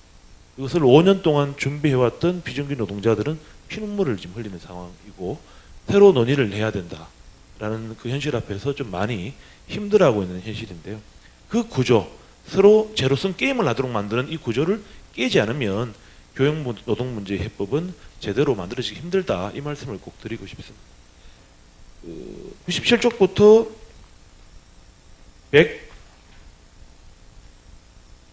103쪽까지 나와 있는 것은 각 부문별 그리고 종류별 실태입니다. 그래서 그걸 굳이 언급하지는 않겠습니다. 어, 한마디로 학교 비정규직 노동자들은 최저임금 수준으로 일을 하고 있고요. 고용 불안 겪고 있습니다. 그리고 정규직 같은 일을 하는 정규직 직원에 비해서 평균 3배 정도 임금을 적게 받고 있습니다. 대학에 있는 교직원 중에서 시간 강사는 평균 4배 이상 적게 받고 있습니다. 여기는 뭐 그 공간이라든지 다른 의사 결정권이 다 빠진 얘기입니다. 임금만 가지고 얘기한 수준이고 극단적인 고용 불안을 겪고 있죠. 우리나라에서 형식상 가장 극단적인 차별을 받고 있는 집단은 건설 노동자하고 시간 강사를 보시면 됩니다. 그만큼 극단적인 상황에 놓여 있다는 얘기고 이런 문제들을 해결을 해야 된다라고 해서 자꾸 사람들이 자살을 하니까 시간 강사들이 자살하면 다른 노동자들이 스스로 자살하는 거는 별로 보도도 안 하고 신경도 안 쓰는데 그래도 기사는 좀 내줘요. 그러다가 잠시 들끓다가 시간 지나면 아무것도 하지 않는 이 일이 10년째 반복되고 있는 상황입니다. 그러다 그러다가 무슨 대안이라고 내놓은 게 더 차별하는 법을 만들어 놔서 지금 교육부가 욕을 많이 먹고 있는 상황입니다. 그 내용들은 자료로 좀 대체를 하도록 하고요. 대안에 있어서 104쪽 학교 비정규직 교직원 노동 문제는 교육 공무직법이 핵심입니다. 이거는 아주 오랜 기간 동안 준비가 되어 있는 부분이라서 어, 사업비가 아니라 지금 대체로 사업비로 배치가 되거든요. 사람이 일을 한 일을 해서 노동력을 제공한 대가를 사업비로 이렇게 주는 발당 자체가 잘못된 거죠. 인건비로 해서 해결을 하고 허봉제 적용하라는 게 핵심입니다. 교육공무집법은 하나의 직군을 만들어서 모기 계약으로 전환하고 허봉제 적용하고 사업비가 아니라 인건비로 달라. 그런데 이게 제대로 실현되기 위해서는 일단 교육 재정이 확충돼야 됩니다. 또 하나 총액 인건비 제도가 폐지돼야 됩니다. 그렇지 않은 상태에서는 계속 내부에서 갈등을 겪게 될 가능성이 크고 어, 하나 더 붙이면 정원도 필요한 만큼 확장이 돼야 되겠죠. 교사 많이 뽑지도 않고 필요한 직원도 제대로 공무원도 배치하지 않으면서 이렇게 이- 이렇게 일을 이제- 해결하겠다고 하면 당사자들은 또 반대할 수밖에 없는 거 아닙니까? 자기들 업무가 늘어난다 보니까 그 문제가 있고요. 그렇게 대안이 이미 만들어져 있다. 그다음에 시간 강사 등 비정규 교수 문제는 현재 제정되어 있지만 헌정 사상 유례 없이 세 번이나 법의 시행이 유예가 되는 법이 통과됐습니다. 황당하죠. 국회 입법조사처가 작년에 바로 이 위검, 위청에서 반성하는 토론회를 따로 가졌는데 잘못 만든 법이고 어, 자기들이 용기 있게 막지 못한 것에 대해서 반성한다라고 참여한다라고 얘기할 정도로 잘못 만든 법인데 그 법이 여전히 폐기되지 않고 있습니다. 내년 1월 1일 시행 예정입니다. 어, 이 법이 시행되는 순간 지금 더 나쁘게 만든 법은 지금 안중에도 없습니다. 일단 그거는 당연히 통과되지 않을 거라고 보는데 기존에 있는 법이 시행되는 순간 비정규 교수 절반 정도는 대량 해고되고 대학원생들은 들어오려고 하지 않을 겁니다. 잠시 이제 스펙이 필요해서 들어온 사람 말고 공부해서 업으로 삼으려고 하는 사람들은 들어오지 않죠. 왜냐하면 한 10년 공부해가지고 평생 한 연봉 1,500만 원 정도 받으면서 살아야 되는데 6개월에 한 번씩 해고될 그런 처지에 놓이는데 누가 들어오려고 하겠습니까? 그런 점에서 학문 생태계가 완전히 붕괴된다. 대학이 그냥 파괴된다. 이렇게 보기 때문에 저희들은 막고 있습니다. 그러면서 저희들이 대안으로 내세우는 것은 정부가 아까 계속 언급됐던 고등교육 재정 교부금법을 만들어서 그 안에 인건비가 포함될 수 있거든요. 비정규 교수에게 인건비를 지원하고 어, 사립대 같은 경우는 매칭권 들여서 돈을 좀 내야겠죠. 그렇게 해서 생활이 가능한 수준 그리고 조금 더 고용이 안정되는 그 제도인 연구 강의 교수 제도로 모든 20가지가 넘는 대학 사회 비정규 제도가 20가지가 넘습니다. 이걸 다 통합해서 하나로 만들어 가지고 일정한 지원을 하는 시스템 그 방법 말고는 없다라고 지금까지 강조를 해왔습니다. 근데 우리가 내면 절대 통과가 안 되더라고요. 그래서 더 열심히 싸워야겠다 생각이 듭니다. 마지막으로 교원의 노동 3권 문제가 있는데요. 뭐 교사 교수들 지금 참 힘들죠. 요즘처럼 선생님이 이렇게 힘든 직업인지 몰랐다면서 명태도 많이 하시는데 예, 심각한 문제입니다. 이분들이 자신들의 노동 조건, 즉 학교 현장을 바꿀 수 있는 그런 힘을 가지려고 하면 노동조합이 당연히 합법화돼야 됩니다. OECD에서 다 가지고 있는 것이고 어느 정도 권한 차이가 좀 있겠지만 교수노조 합법화 안 된 데가 없고 그리고 교사노조도 당연히 다 어, 권리가 보장돼야 되는데 거꾸로 돼서 있는 합법 노조조차도 법의 노조로 만드는 이 현실을 좀 바꿔야 되지 않느냐. 아, 제가 언급을 많이 못했지만 공무원도 마찬가지다. 또한 더해서 정치 기본권, 그 노동 기본권만이 아니라 정치 기본권도 같이 보장이 되어야 조금 더 교육 현장, 교육 노동 문제를 해결하는데 앞장서고 실제 힘을 발휘할 수 있지 않을까 네, 그렇게 생각을 하면서 뭐 같이 연대해 가지고 바꾸지 않으면 사실상 독립적으로 해가 힘드니까요. 같이 열심히 힘을 모아서 좀 더 나은 세상을 만들어 갔으면 좋겠습니다. 고맙습니다.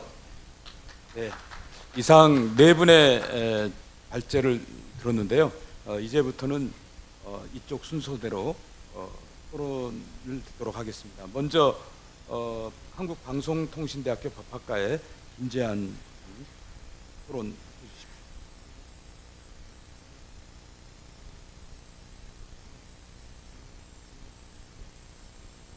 7분 정도.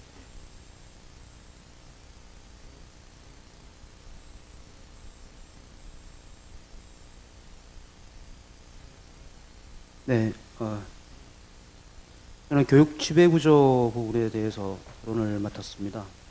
이 부분에 대해서는 발제해 주신 임정훈 교수님께서 워낙 많은 연구가 되어 있으시기 때문에 또 발제하신 부분에 대해서 뭐 어떤 의문을 제기할 사항은 별로 없고요.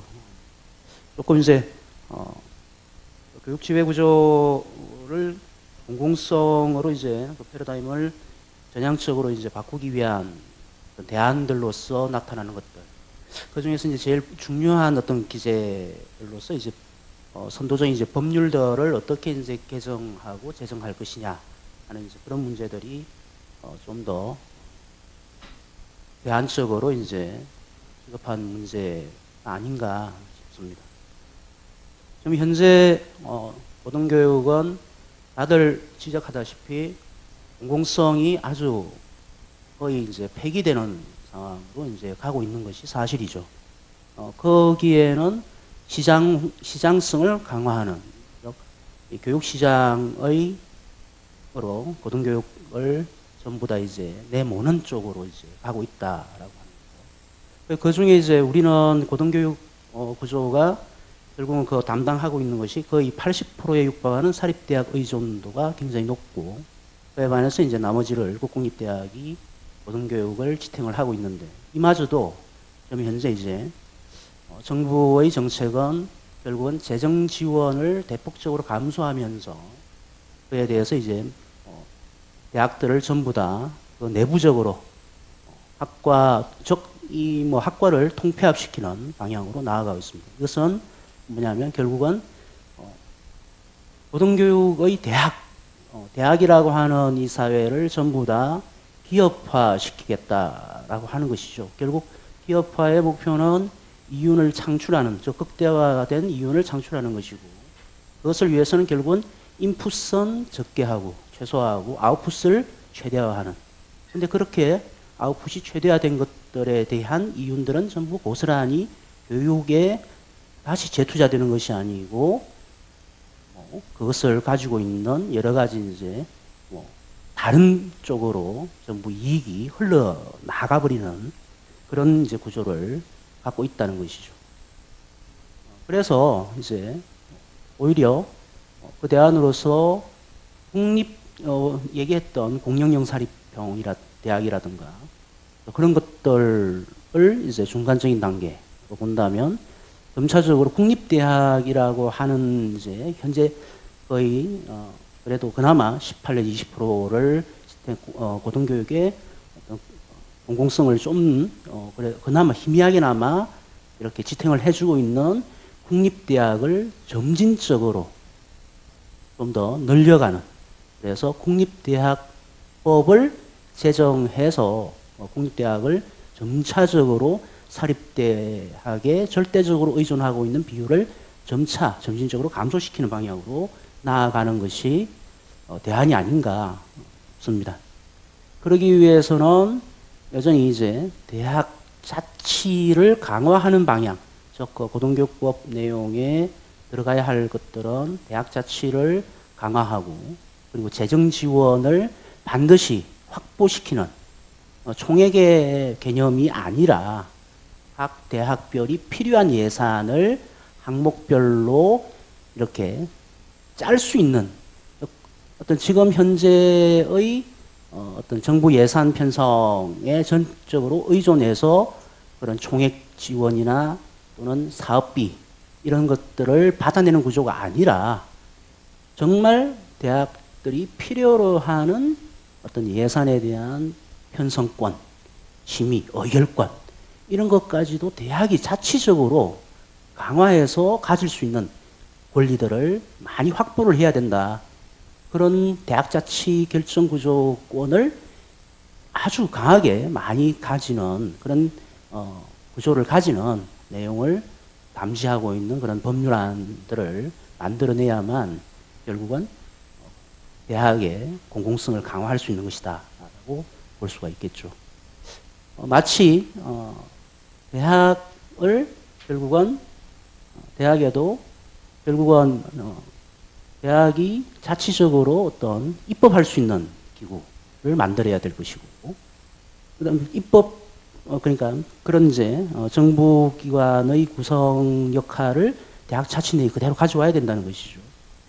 그래서 뭐 지금 현재 이제 총장 선출 문제도 어, 다시 선출제를 원칙으로 하는 이런 쪽으로 어, 바꿔야 될 것이고, 그러나 그 총장이 가지고 있는 어떤 막강한 어, 집중되어 있는 어떤 그 권리들은 권한들 권한들은 조금 더 분산시켜서 어, 견제 균형할 수 있는 의회 역할을 할 수 있는 그런 대학 교수 협의회나 평의위원회 이런 것들을 통해서 견제할 수 있는 장치, 즉 입법적인 활동을 할 수 있고 암시 견제할 수 있는 기능들을 할 수 있는 기구들이 만들어져야 되고 또 강화돼야 되겠죠. 그래서 내부에서도 어, 대학 자치를 강화하면 하는 하면서 이제 그러한 의사결정 구조가 민주적으로 상호 균형과 견제 시스템 하에서 이루어질 수 있도록 하는 이런 내용들을 또 담는 그런 것들이 필요하다고 하겠습니다. 결국 어, 고등교육의 이런 공공성을 앞으로 이제 어, 강화시켜 나가야 된다는 문제는 여러 가지 사회 전반적인 경제 구조와도 또 직결 될 수가 있습니다.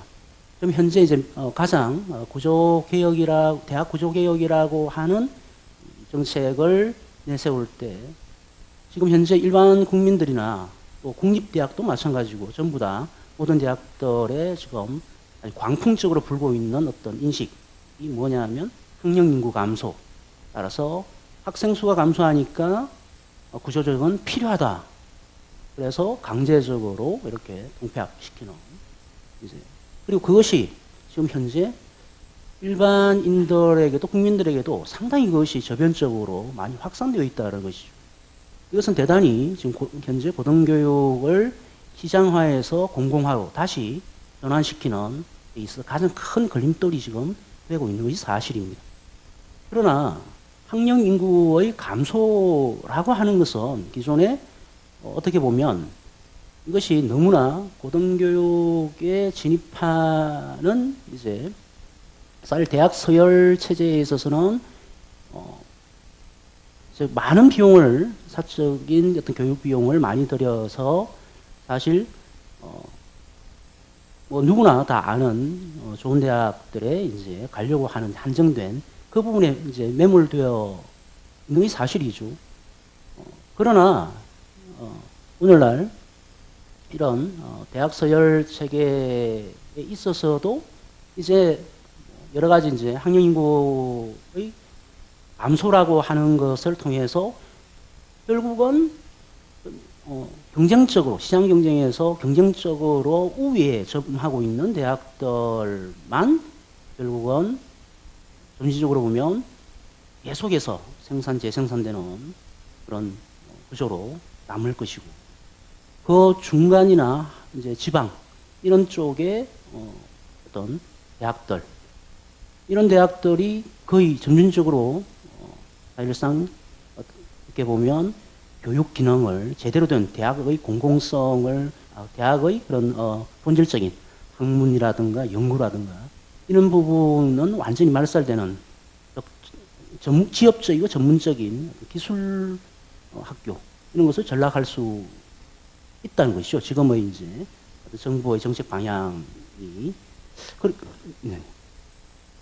그렇기 때문에 어, 일반인들에게 앞으로 학령 인구의 감소 문제가 아니라 오히려 고등교육의 이 현재의 패러다임을 공공성으로 바꿈으로써 양질의 학령 인구가 더 확대될 수 있다라는 것을 이제 인식시켜주는 작업 이런 것들이 더 필요하지 않을까 싶습니다. 어, 이상으로 교육 지배 구조에 대한 토론을 마치도록 하겠습니다. 또 하실 말씀이 있으실 것 같은데 7분으로 또 제한이 돼 있어서 어, 이번에는 어, 유초등 교육 개혁과 교육복지 쪽인데요. 베이철 홍천 남산초등학교 선생님 네, 말씀 듣도록 하겠습니다. 아, 네. 소개받은 홍천 남단 초등학교 교사 배희철입니다. 에, 107쪽부터 109쪽까지 토론문이 있습니다. 어, 교육정책 패러다임 전환의 방향을 그 찾는 실온과 관련된 그러한 논의 자리라고 예측했기 때문에 예, 107쪽에 밑줄 두 군데 그었고요. 그 109쪽에 밑줄 하나 그어가지고 좀 도움이 될까 했습니다. 어, 일단은 첫 번째로 그었던 건 그 107쪽 밑에 있는 건 에, 여덟 가지 제안하셨던 대안으로 제안하셨던 것들 속에서 제가 찾을 수 있었던 그리고 뭐 우리가 이제 많이 들었던 그러한 어디에서 어디로 가자 뭐 이러한 것과 관련된 방향 전환과 관련된 부분들 밑줄 걷고요. 그 다음에 전반적으로 전체를 묶을 수 있는 것으로는 에, 우리나라 그 초, 유초 중등 교육의 어떤 그러한 담론에서 이 18세기적인 그 칸트적인 그러한 얘기나 좀 제대로 했으면 좋겠다. 저 인간을 수단이 아닌 목적 그 자체로서 좀 한다는 대원칙 그러한 것으로 가는 것 정도면 충분하지 않겠냐 그래가지고 이렇게 밑줄 두 번째 걸 걷습니다. 어, 그리고 세 번째 밑줄은 에, 혹시 시간이 나오면 에, 좀 이제 얘기하려고 거놨습니다. 어, 이 자리가 국회고 또 2017년 새 정, 민주 그 공화국이 만들어졌을 때를 대비한 그 유초등과 관련된 그러한 것들에서 얘기하는 자리라면 좀 다른 얘기를 좀 하고 싶습니다. 일단 법과 관련돼 가지고 세 가지 정도를 얘기하겠습니다. 그 대안에서 얘기했는데 이제 학습자 중심으로 입법 체계를 법제 체계를 바꾸자. 거기서 한 걸음 더 나아 가지고 어 좀 국가의 의무 중심으로 법 그 문항들 법의 내용들을 좀 진술하자. 즉 우리나라 그 초중등 유초중등 그 법들을 보면은 전부 다 아래 것들 이렇게 해라 라는 식이지 에, 외국처럼 그, 제가 몇몇 나라들 공부했는데 거기서는 국가는 이러 이렇게 하겠습니다. 이러한 대원칙 하에 법 조항들의 내용들이 구성된다는 겁니다. 우리도 이제 민주공화국이라면 에, 국회에서도 국회의원들도 바로 자신들은 국가를 대변해서 이렇게 하겠습니다라고 말하는 국민에 대한 그 예의를 갖추는 식으로 법들을 좀 진술하는 그러한 그 원칙을 이제 좀 정립해야 되지 않겠냐. 이제 그 얘기를 하나 드리고 싶습니다. 두 번째로는, 어, 이 신자유주의 교육 정책이 도입된 지난 20여 년 동안 입법 체계가 1997년에 완전히 뒤바뀌었습니다. 어, 그래가지고 법으로 있었던 상당히 중요한 확고하게 지켜져야 될 많은 것들이 시행령으로 내려갔습니다. 아, 이러한 부분들을 다시 올리지 않고 안정적인 에, 교육 체계, 교육 운영 이것들이 가능하다라고 보는 건 이거 어불성설입니다. 그래서 신자유주의를 넘어서 진정한 교육 안정을 위한다면 시행령으로 내려가 있는 이 행정부가 매년 제 멋대로 그 집행 방식을 바꾸는 이러한 것들을 다시 과거처럼 입법으로 올리는 작업들을 진지하게 고민해야 됩니다. 어, 그리고 세 번째로는 에, 그나마 현재의 예, 입법 내용만으로도 어, 좀 잘 지켰으면 좋겠다. 에, 지난 정부들, 그현 정부도 특히나 더욱더 그렇습니다. 어, 법에서는 A라는 것을 해야만 한다라고 모법을 지- 만들어 놨는데 국회에서 에, 대통령령으로 뭐뭇을 하지 않는다라고 해서 뒤집어 놓는 아주 역설 너무 좀 그 아주 터무니없는 일인 것 같지만 많은 것들이 유초 중등 교육과 관련해서 많은 것들이 그런 식으로 시행령으로 모법을 뒤집었습니다. 국회를 흔히 말하는 저희들이 이제 토론 그 이런 그뭐 어떤 토론에서 얘기할 때 국회를 능멸하는 식으로 시행령들을 뒤집어놨는데 그것들에 대해서 대응을 못하고 있는 것 자체가 참 한심합니다. 어, 다음 대통령은 알아서 이제 그런 일을 좀 반성하고 그런 것들을 다 바꿨으면 좋겠고 국회도 능동적으로 모법에서 지시한 사항들이 정반대로 대통령령에서 관철되고 있는 이러한 행정에 대해서 지금처럼 이렇게 계속 내버려 둬야 될 것인가 좀 심각하게 반성을 했으면 에, 좋겠습니다. 에, 그 마지막 하나만 더 이제 좀 얘기하겠습니다. 에, 행동 구성주의에서 문화 역사적 이론으로 방향 전환에 대한 얘기를 좀 조금만 더 언급하고 끝내겠습니다. 지금 현재 앞에 부분들 정책과 관련된 그 부분들은 인간을 이렇게 보는 거에서 이렇게 보는 것으로 바꾸자라는 이제 그런 식의 저희 얘기 정리하는 방식이었습니다. 하지만 교육은 본질적으로 인간을 인간으로 만드는 인간 됨에 대한 인간이 변화하는 과정에 대한 것들을 다루는 부분입니다. 특히 유초 중등 교육은 더더욱 그렇습니다. 좀 우리가 말하는 여기서 발제자께서 말씀하셨던 이 발달이라는 측면에서 바로 20세까지 중학교, 고등학교 가기 전까지 굉장히 중요한 시간 동안에 어떻게 볼 것인가 라는 부분에 있어서의 인간 됨에 대한 패러다임이 전환이 없다면 예, 아무리 제도가 좋아도 예, 학교 내에서 교실에서 아이들은 지금 대학에 있는 아이들이 무능력한 것처럼 계속 무능력한 전반적으로 무능력한 아이들이 만들어질 수밖에 없다는 겁니다. 저희들이 20세기에 에, 인간됨에 대한 즉 교육의 운영 방식으로서 작동했던 것들을 크게 보면 이 지구상에는 세 가지가 있었습니다. 행동주의, 구성주의, 그 다음에 이제 사회주의권을 중심으로 했던 이 문화 역사적 이론이라는 것이 있습니다. 비고치케. 예, 한국도 이 학술적으로는 벌써 30년 전에 정리가 됐습니다. 에, 이런 부분을 이제 한국에 도입하면서 올바른 과학적이라고 말하는 인간됨에 대한 체계를 가지고 교육 내적인 작동 방식을 변화시키지 않는다면 법만 바꾸는 것이지 교육 개혁에 있어서 실제의 소프트웨어는 과거에 나쁜 거, 이그 방식 그걸 돌리게 된다는 거죠. 이 부분에 대해서 이제 교육 개혁을 얘기할 때 특히 유초 중등 교육 개혁을, 개혁을 얘기할 때는 이제 그 안에 작동시키는 소프트웨어가 우리나라께 외국의 학자들에게서는 이미 30년 전에 폐기된 심지어 외국에 대학 유학 갔던 이제 북유럽 쪽으로 유학 간 학생들은 이렇게 행동주의나 구성주의처럼 아이들을 가르치던 20세기 초중반에 오류를 범하지 않아야 된다라고 1차 시, 2차 시에 가르치고 3세, 4대 시간부터는 다른 걸 배운다는 겁니다. 우리 교육은 외국에서 북유럽이라든지 이런 교육 선진국에서는 과거의 것으로 이 소프트웨어가 과거의 것이라고 낙인을 찍고 공공연하게 가르치고 있는데 우리는 그 두 가지밖에 없다는 거죠. 포장뿐만 아니라 본질적으로 유초 등에서의 교육 개혁은 인간됨에 대한 이 소프트웨어에 대한 관점으로 이제 좀 시선을 모으고 대학에서도 이 특히 교육과 관련되신 연구하시는 분들은 좀 진지하게 좀 봐주셨으면 합니다. 이상입니다. 어, 이번에는 어, 세 번째 토론자이신데요. 민주시민 교육 활성화를 위한 개혁 요구라는 제목으로 박민정 공검다리 교육 공동체 상임이사님께서 해주시겠습니다. 아, 네, 안녕하세요. 저는 사실 현장 현직 교사입니다. 어, 오늘 발표가 네 분 중에 두 분이 교수 연구자 시, 시국회의라 그런지 대학 교육 문제에 좀 비중이 많이 있는 것 같은데 어, 일단은 앞으로 요게 이제 정리돼 나갈 때 초중 유초중고 교육에 대해서 조금 더 비중을 어, 넓혀줬으면 좋겠다는 부탁을 드리고 싶고요. 어, 그 다음에 이제 제가 사실은 이 발제문을 쓸 때는 발, 어, 아, 토론문을 쓸 때는 발제문을 받지 못했고 오늘 굉장히 많은 그 분들이 다양한 토론 의제들을 내실 거라고 생각해서 제가 생각하는 한 가지만 여기 민주시민 교육과 관련해서 사실 토론문을 작성했어요.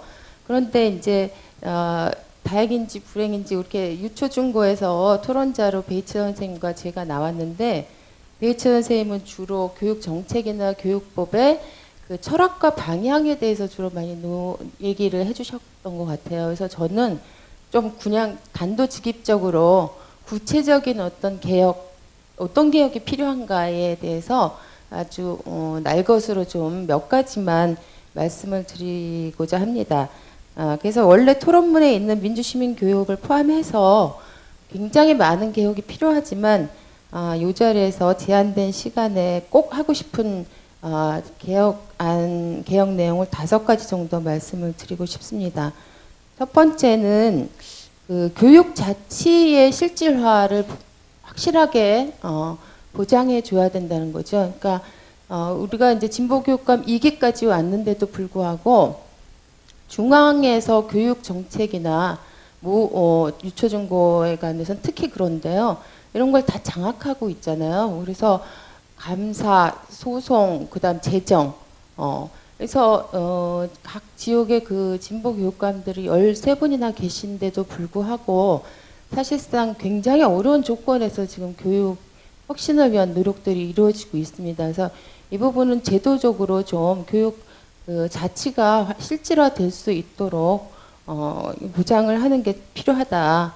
아까 베이츠 선생님은 다른 차원에서 시행령을 얘기하셨는데 사실 거꾸로 이 부분과 관련해서 보면은 어, 시행령 공화국이라고 얘기할 정도로 시행령 되게 남발되면서 진보교육감들의 그 교육 자치의 발목을 막, 음, 붙잡고 있는 게 무지 많습니다. 그래서 이런 어떤 시행령 남발 사태를 좀 어, 해결을 해야 된다 이런 생각이 들고요.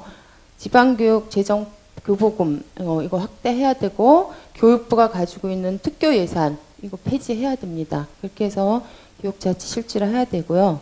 두 번째는 학교 현장에 있으면 바깥에서 보실 때 아, 왜 학교가 교사들이 저렇게 월급 많이 받고 방학까지 있으면서 저 모양으로 기껏 이렇게 교육을 이렇게 망쳐놨냐 이렇게 생각하실 것 같은데 아, 물론 우리 교사들 당사자들 책임도 있긴 하지만 제도적인 문제 중에서 아주 아주 근본적으로 이 교사들의 어떤 교육 전문가성이랄까요 전문성의 어, 성장을 어, 가로막고 있는 제도가 어, 교원 승진 제도입니다.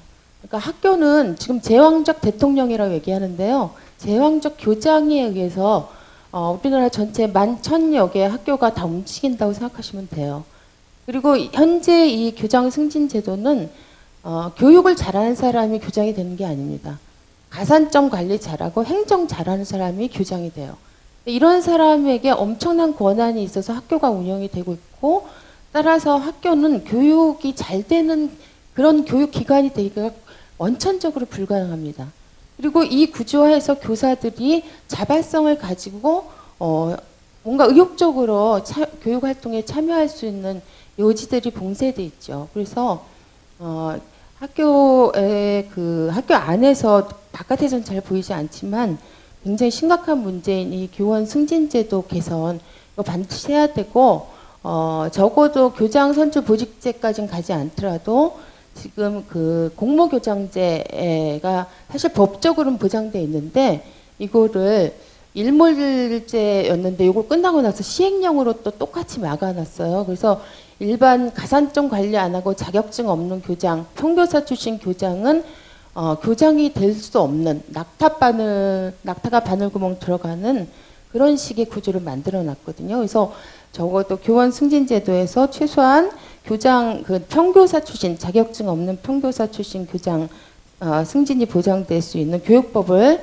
그대로 어, 100% 실행하는 게 굉장히 필요할 것 같습니다. 이게 학교가 관료주의의 병폐에 찌들어가는 되게 중요한 원인 중에 또 하나가 됩니다. 다음 세 번째는 어, 법정 수업 일수 이거 그 줄여야 됩니다. 우리나라 학생들 학습 노동이 거의 살인적입니다. 근데 이게 단순히 학교 끝나고 나서 사교육만의 문제는 아니에요.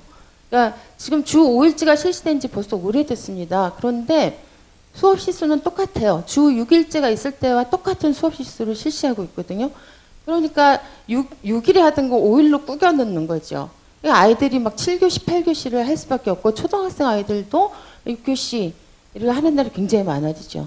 어, 이런 식으로 이제 지금 수업 일수 그 조정이 안 되고 있는데 이거 조정해야 된다고 주 5일제에 맞게 그다음 교육적 필요에 맞게 어, 법정 수업 일수를 감축시켜야 된다고 생각합니다. 그다음 네 번째가 아, 지금 이제 우리나라 교육법 2조에 보면 우리나라 교육의 목적이 민주시민 교육, 민주시민 양성이라고 되어 있습니다. 그런데 솔직히 제가 교육 현장에 있지만 아, 지금 우리 학교가 민주시민 교육 양성을 하고 있는지에 대해서 어, 참, 음, 저 스스로도 그렇고 굉장히 어, 죄송스럽기도 하고 부끄럽기도 하고 그렇습니다.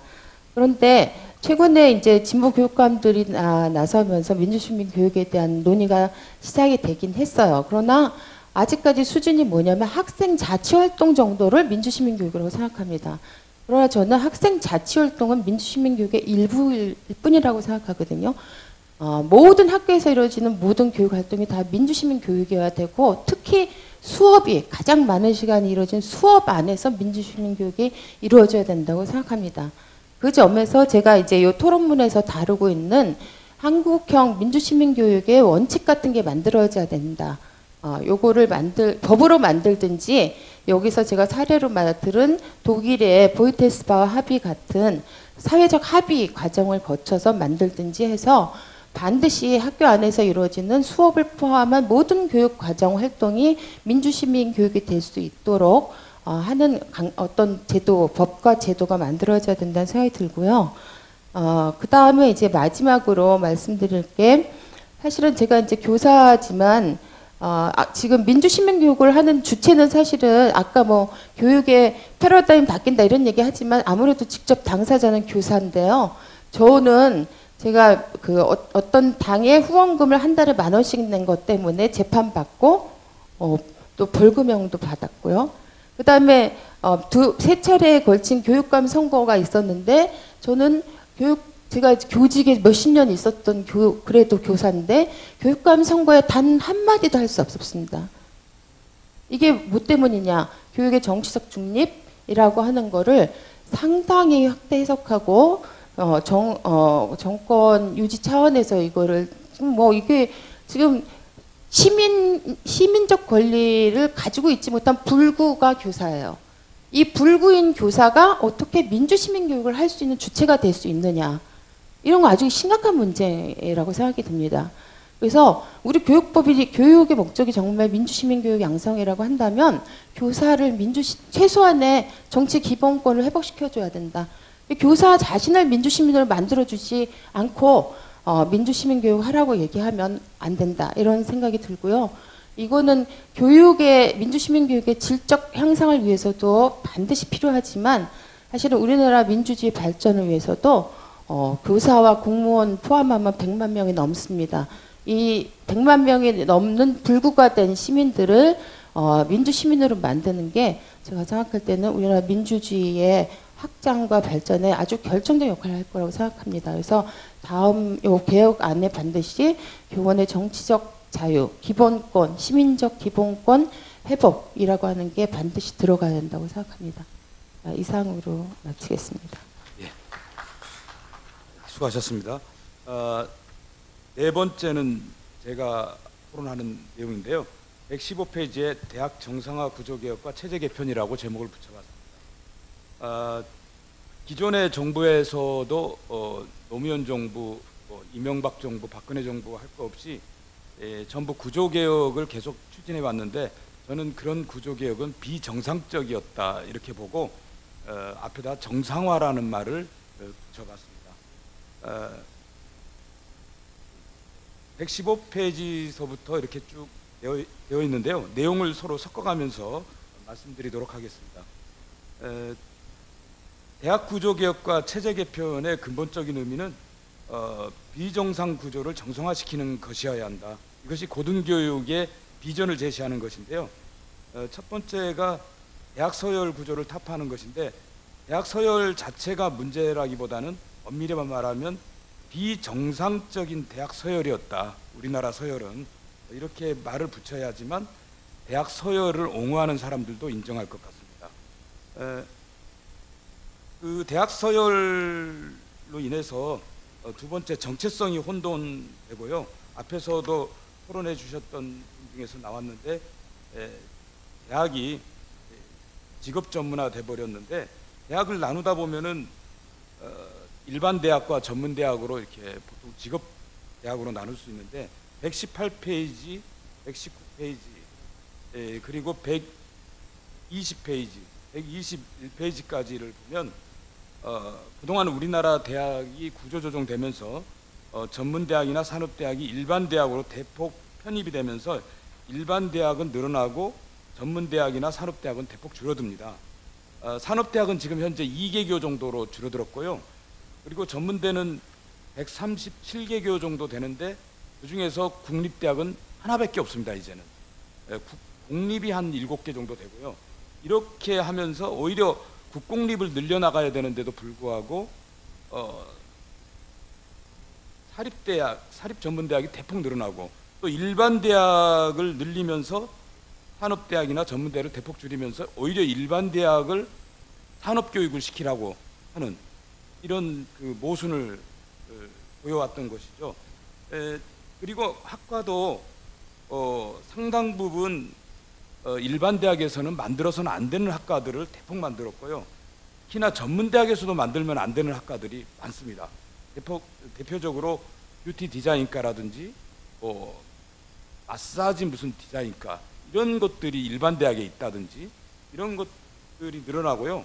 어, 다만 이런 그 정체성은 사라지면서 대학 서열화만 강조돼 버리는 어, 이런 그 비정상적인 서열화 그리고 어, 사립대학이 오히려 더 늘어나 버리는 사립대학을 축소시켜 가야 됨에도 불구하고 사립대가 늘어나는 그런 구조 어, 이런 것들이 우리나라의 그 비정상적인 대학 구조였었다 이렇게 봅니다. 어, 많은 분들은 우리나라 부실대학에 왜 이렇게 재정 지원을 해주느냐 이렇게 말을 하는데 저는 우리나라 모든 대학이 부실대학이라고 말을 합니다. 좋은 대학은 없다. 어, 116페이지에 제가 분류하는 방식대로 하면은 우리나라는 덜 부실대학, 부실대학, 더 부실대학이 있을 뿐이다.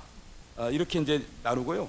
어, 교육 여건 부실대학이 있고 교육 과정 부실대학이 있고 교육 목적 부실대학이 있는데 아까 말씀드렸듯이 일반 대학이 전문 대학처럼 한다든지 하는 것은 전부 다 교육 목적 부실대학입니다. 그리고 서울대학이 우리나라에서 제일 좋은 대학이라고 하- 되어 있지만 영국의 TH에서 조사한 바에 의하면 서울대학이 78위를 차지한 이유도 산학 협력을 잘해서였지 어, 연구 실적이라든지 연구 영향력에서는 굉장히 처집니다. 40몇 점밖에 안 됩니다. 그래서 모든 대학이 부실 정도의 차이를 가지고 있고 여건에 따라서는 그 영역별로 부실 정도가 다르다. 이렇게 보는 것이 맞다. 서열을 매기는 것이 중요한 것이 아니라. 그래서 우리나라 대학을 좀 더 훌륭한 대학으로 만들기 위해서는 영역별로 부실한 측면을 바로 잡아가는 것이 모든 대학을 좋은 대학으로 만드는 길이다. 이렇게 보는 것이 맞다는 거죠. 어, 우리나라의 현재 서열은 모든 영역을 점수화 시켜 가지고 서열을 매기고 있는데 그렇게 해서는 부실이 드러나지 않는다. 이렇게 이제 말을 할 수 있겠고요. 그래서 부실 대학을 내실 대학으로 만드는 것이 정상화 구조 개혁이다. 이렇게 말하고요. 어, 미래 대학으로 전환하기 위해서는 표준화된 학습 교육에서 어, 창의 능력 개발 교육으로 어, 전환해야 되는데요. 어, 그리고 여기 이제 안 적었지만 어, 앞에서 얘기한 대학 연합 체제를 많이 하- 에, 말씀하셨는데 기존에도 대학을 통합한다든지 하는 건 있었습니다. 다른 예를 들어서 어, 공주대학을 뭐 예산 농전하고 통합한다든지 이런 것들이 있었는데 저는 이런 통합은 잘못된 통합이라고 보고요. 어, 또 한국교통대학 같은 경우도 충주대학하고 청주 간호대학하고 합쳤 다가 다시 교통대학하고 합, 어, 저, 철도대학하고 합쳐가지고 어, 한국교통대학을 만들고 이런 식의 통합은 잘못된 통합이다. 각자의 특성을 그대로 둔 상태에서 어, 네트워크식으로 연합하는 것이 맞다. 그래서 앞에서 제시한 어, 대학 연합 체제를 다른 분들도 또 이런 용어를 빌려 가지고 비정상화 시킬 수- 가능성이 높기 때문에 저는 그 대학 연합 체제 앞에다가 공공적 대학 연합 체제라고 해서 차별적인 용어를 쓰는 것이 좋겠다 이렇게 제안해 봅니다. 에, 지금 116페이지 쪽에 에, 그동안 그 박근혜 정부가 어떻게 부실대학을 양산해 왔는가 보면 어, 대학 평가 사업이 이 부실화시키는 데 큰 역할을 했는데요. 저는 그것을 대학 평가 사업 만능주의다 이렇게 에, 표현합니다. 어, 116페이지 아- 하단부터 117 페이지 예, 상단까지 여러 그 언론에 나온 데이터들을 보면 그 재정 지원 사업이 결코 대학을 질적으로 높이는데 도움이 되지 못했다. 오히려 교수들을 영혼 없이 만들고 질을 떨어뜨리고 이번에 정유라 사건처럼 프라임 대학에서 나타났듯이 정유라 사건처럼 오히려 정경 유착이 있듯이 교육부와 대학 간의 유착을 유발시키는 것들이었다. 그래서 교육부도 지탄받아야 되고 대학도 영혼 없이 하청업자로 전락했다. 이렇게 이제 평가하는 것이 맞겠다라는 생각이 들고요. 에, 그래서 117쪽에 제가 어, 한 일곱 가지를 나열했는데요. 이것은 앞에서 제시했던 내용 다른 분들이 제, 제시했던 것은 이제 보완적으로 하는 내용이 되겠습니다. 전체적으로는 어, 그동안 고비용 저효율 대학 구조를 효율적인 효과적인 비용을 효율적이고 효과적으로 쓰기 위한 구조로 바꾸는 것이다. 그래서 GDP 대비 1.1%의 재정을 확보하면서 그 재정을 가지고 그동안에 썼던 재정 지원 방식이 아니라 새로운 방식으로 바꿔버리면 얼마든지 대학의 질은 노- 좋아지고 교육은 높아지고 어, 등록금은 낮출 수 있다. 아, 전문대학을 무상화할 수 있고 국립대학까지도 무상화할 수 있고 사립대학은 반값 등록금 충분히 할 수 있다.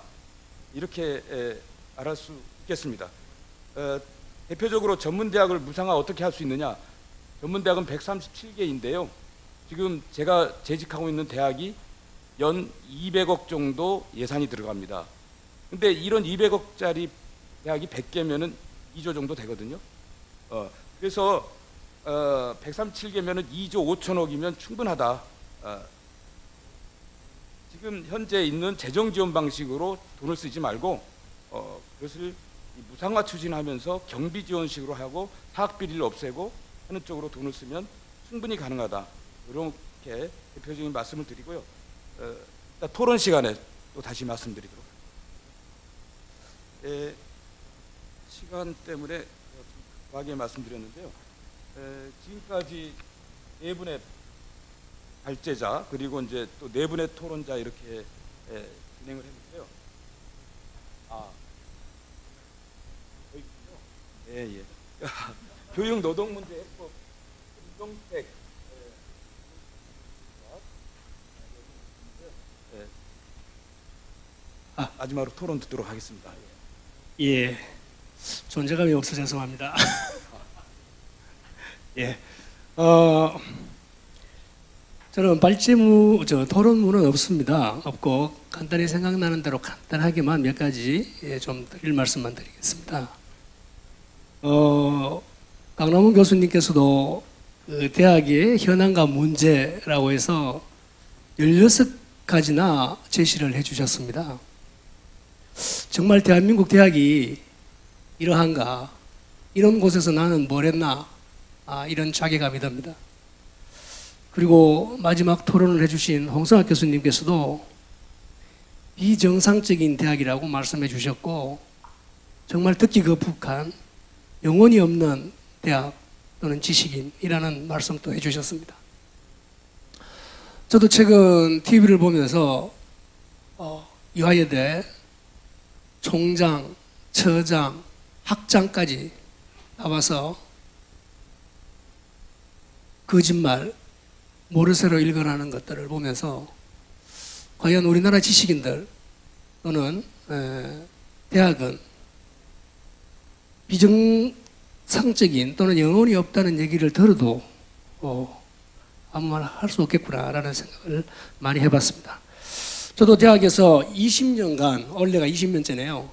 시간 강의를 하고 있고 몇 년 전부터 에, 노동자로서의 역할을 좀 해봐야 되겠다 해서 한국 비정규교수 노동조합에서 에, 나름대로의 에, 역할을 하고 있습니다. 어, 비정상적인 대학, 영혼 없는 대학, 문제점 투성이의 에, 대학들, 뭐 더 얘기 예, 안 해도 될 것 같습니다. 우리 내공이 이 막강하신 위원장님께서 조목조목 말씀을 다 해주셨고요. 저는 현장에서 약간 느끼는 부분들만 몇 가지 말씀을 드리는데 정말 대학에 교육이 없는 것은 확실한 것 같습니다. 아, 인간이 없습니다. 따뜻한 사람이 배려하는 사람도 없고요. 오직 경쟁과 예, 자본의 논리밖에 없는 것 같습니다. 어, 20년 동안 쭉 학생들을 가리키고 또 얘기해 왔습니다만은 최근 들어서는 학생들하고의 얘기가 거의 없습니다. 그 다음에 식사 같이 하러 가는 선생님들조차도 없습니다. 언제부터 이렇게 되었는지 모르겠습니다. 취직하려고 학점 따려고 예, 노력하는 학생들 뿐이고요. 자기 밥그릇만 챙기려고 하는 선생님 밖에 없는 듯 합니다. 좀 서로 서로에 대한 따뜻한 배려가 있었으면 좋겠다라고 생각을 하고요. 이 문제는 초, 중, 등 학교에서 정말 제대로 배우고 온 학생들이 대학에 와줬으면 좋겠다는 생각으로 저는 지역에서 전교조 선생님들하고 아주 가깝게 예, 지내고 있습니다. 제발 좀 좋은 학생 좀 보내주십시오라는 염원에서요. 예. 어, 대학에서 옛날에 이런 말이 있었죠. 예, 대학 교육의 반은 시간 강사 한 시간 강사가 한다라고 했는데 지금 반이 될까요? 몇 프로 정도 된다고 보십니까? 정확한 수치는 시간 강사는 27%입니다. 그리고 대학 내에 시간 강사 이외에 에, 비정규직이 많습니다. 뭐 겸임 교수라든지 초빙 교수라든지 연구 교수, 기타 에, 자진 뭐 비전임 교원들이 다 포함해서 37%입니다. 그렇다면 어, 옛날에 저희들이 말씀 저 얘기했던 반 대학 교육의 반을 담당했던 이분들 나머지 25%는 다 어디 가셨을까요? 예, 뭐 그 중에 한두 분들은 예, 자살도 하고 했겠습니다만은 어, 이런 생각을 하면 할수록 예, 정말 슬퍼집니다. 어, 뭐 마무리를 예, 몇 가지 좀 드리자면요. 어, 뭐 아까 그 전교조 선생님들의 그 합법화 문제, 예, 물론 교수노조의 합법화 아, 당연히 있어야 되지 않겠습니까? 노동 기분들이 보장되는 이러한 그 합법화가 반드시 돼야 될 것 같고요. 그 다음에 저희 그 대학 내에 보면은 간접 고용 노동자가 상당히 많습니다. 특히 청소하시는 분들 또는 뭐 화단이라든지 미화 담당하시는 분들 이런 분들은 다 간접 고용 노동자인데 이게 직접 고용으로 좀 바꾸자 라고 총장을 쫓아가서 얘기하고 사무처장하고 얘기를 해도 이게 문제가 고쳐지지 않습니다. 이러한 부분들. 그러니까 대학 내에 노동과 관련되는 부분들을 몇 가지 얘기를 드리는 부분들입니다. 그리고 대학 구성원들에 대한 노동교육 또는 인권교육을 의무화할 필요가 있지 않나라고 생각이 됩니다. 어, 제가 속해 있는 대구대학도 나름 음, 민주적인 대학이다라고 하지만 그 많은 교양 국과목 중에서 노동 인권 교육과 관련되는 과목이 한 과목도 없습니다. 어, 그리고 차별을 하고 또는 차별을 받고 있으면서도 어, 제의식이라든지 문제의식이 없습니다. 그리고 정 교수님들의 어떤 성자 독식, 특히 총장 선출권, 아까도 말씀이 있었습니다만은 총장이 이 막강한 권력을 갖고 있는 이런 부분들, 어, 저희들이 또 학교에 일정 부분 좀 참정권을 보장받기 위해서 어, 무단히 노력하고 있습니다만은 그 기득권, 에, 엄청난 벽을 느낍니다. 어, 그리고 어, 저희들을 비롯해서 어, 대학 내에 또는 대학이 아니더라도 에, 학교라고 하는 공간 내에 비정규직이 이 사라지는 에, 이러한 에, 정말 진정한 에, 민주적인 에, 이러한 대한민국이 되었으면 하는 바람입니다. 예, 고맙습니다. 감사합니다. 어, 시간이 지금 한 4시 조금 있는데요. 어, 그래도 어, 플로어의 에, 의견을 좀 들어봐야 될 것 같습니다. 어, 혹시 의견 있으시면 어, 좀 아, 네. 아, 저쪽 마이크를 네. 어, 본인 소개 좀 해주시고요. 예. 예, 그 미리 신청한 토론자인데요. 아 그러시구나. 예, 예, 그 친환경 무상급식 풀뿌리 국민연대 상임대표 박인숙이라고 합니다. 어, 새로운 공화국을 만들기 위한 제안 중에 평등, 그 다음에 공공성 이 부분이 있으면서 정말 우리나라의 대표적인 정책이 친환경 무상급식이 그러한 전범이었다고 생각, 그 사례였다고 생각을 합니다. 그래서 우리가 이 의제를 어디 가서 또 더 확장해서 얘기를 할까 해서 교육이라고 오늘 섹션에 토론자로 신청을 했는데요. 어, 얼마 전에 홍준표 도지사도 급식은 교육이 아니라 그냥 먹는 거다 이런 게 논점이 있어서 사실 저희는 급식은 교육이다 하는 이런 담론 싸움을 했습니다. 근데 오늘 이 토론회에서도 아, 이 급식은 그 우리가 큰 공화국을 구상하는 데 있어서 어, 크게 이제 어, 언급되지 않는 그 점에 대해서 약간 고민이 좀 됐고요. 저희가 좀 말씀드리고 싶은 거는 지금 그 대학 내 여러 가지 고등교육의 변화 이거에 대해 전폭적으로 동의를 하고요. 그런데 아까 강민정 선생님이 지적하신 대로 어, 초중 교육에 대해서 좀 더 적극적인 문제 제기가 필요하지 않을까. 지금 촛불에서 3, 40대의 민심을 잡는 것이 저는 공화국 구상에서 상당히 중요하다고 생각을 합니다. 그래서 교육 의제의 그 부분이 좀 더 강화됐으면 좋겠고요. 어, 지금 급식 운동 진영에서는 초등학교와 중학교는 거의 95% 85% 무상급식이 됐습니다. 영남권 새누리당이 집권하는 데만 지금 되고 있지 않고 고등학교는 대략 14%에서 16% 진전되고 있는 상태거든요. 그랬을 때 3, 40대의 그런 유권자들이 바라는 다음 기대는 그럼 고등학교 무상급식은 언제 해결하느냐. 그 다음에 좀 더 적극적으로 표현은 고등학교의 의무교육화입니다.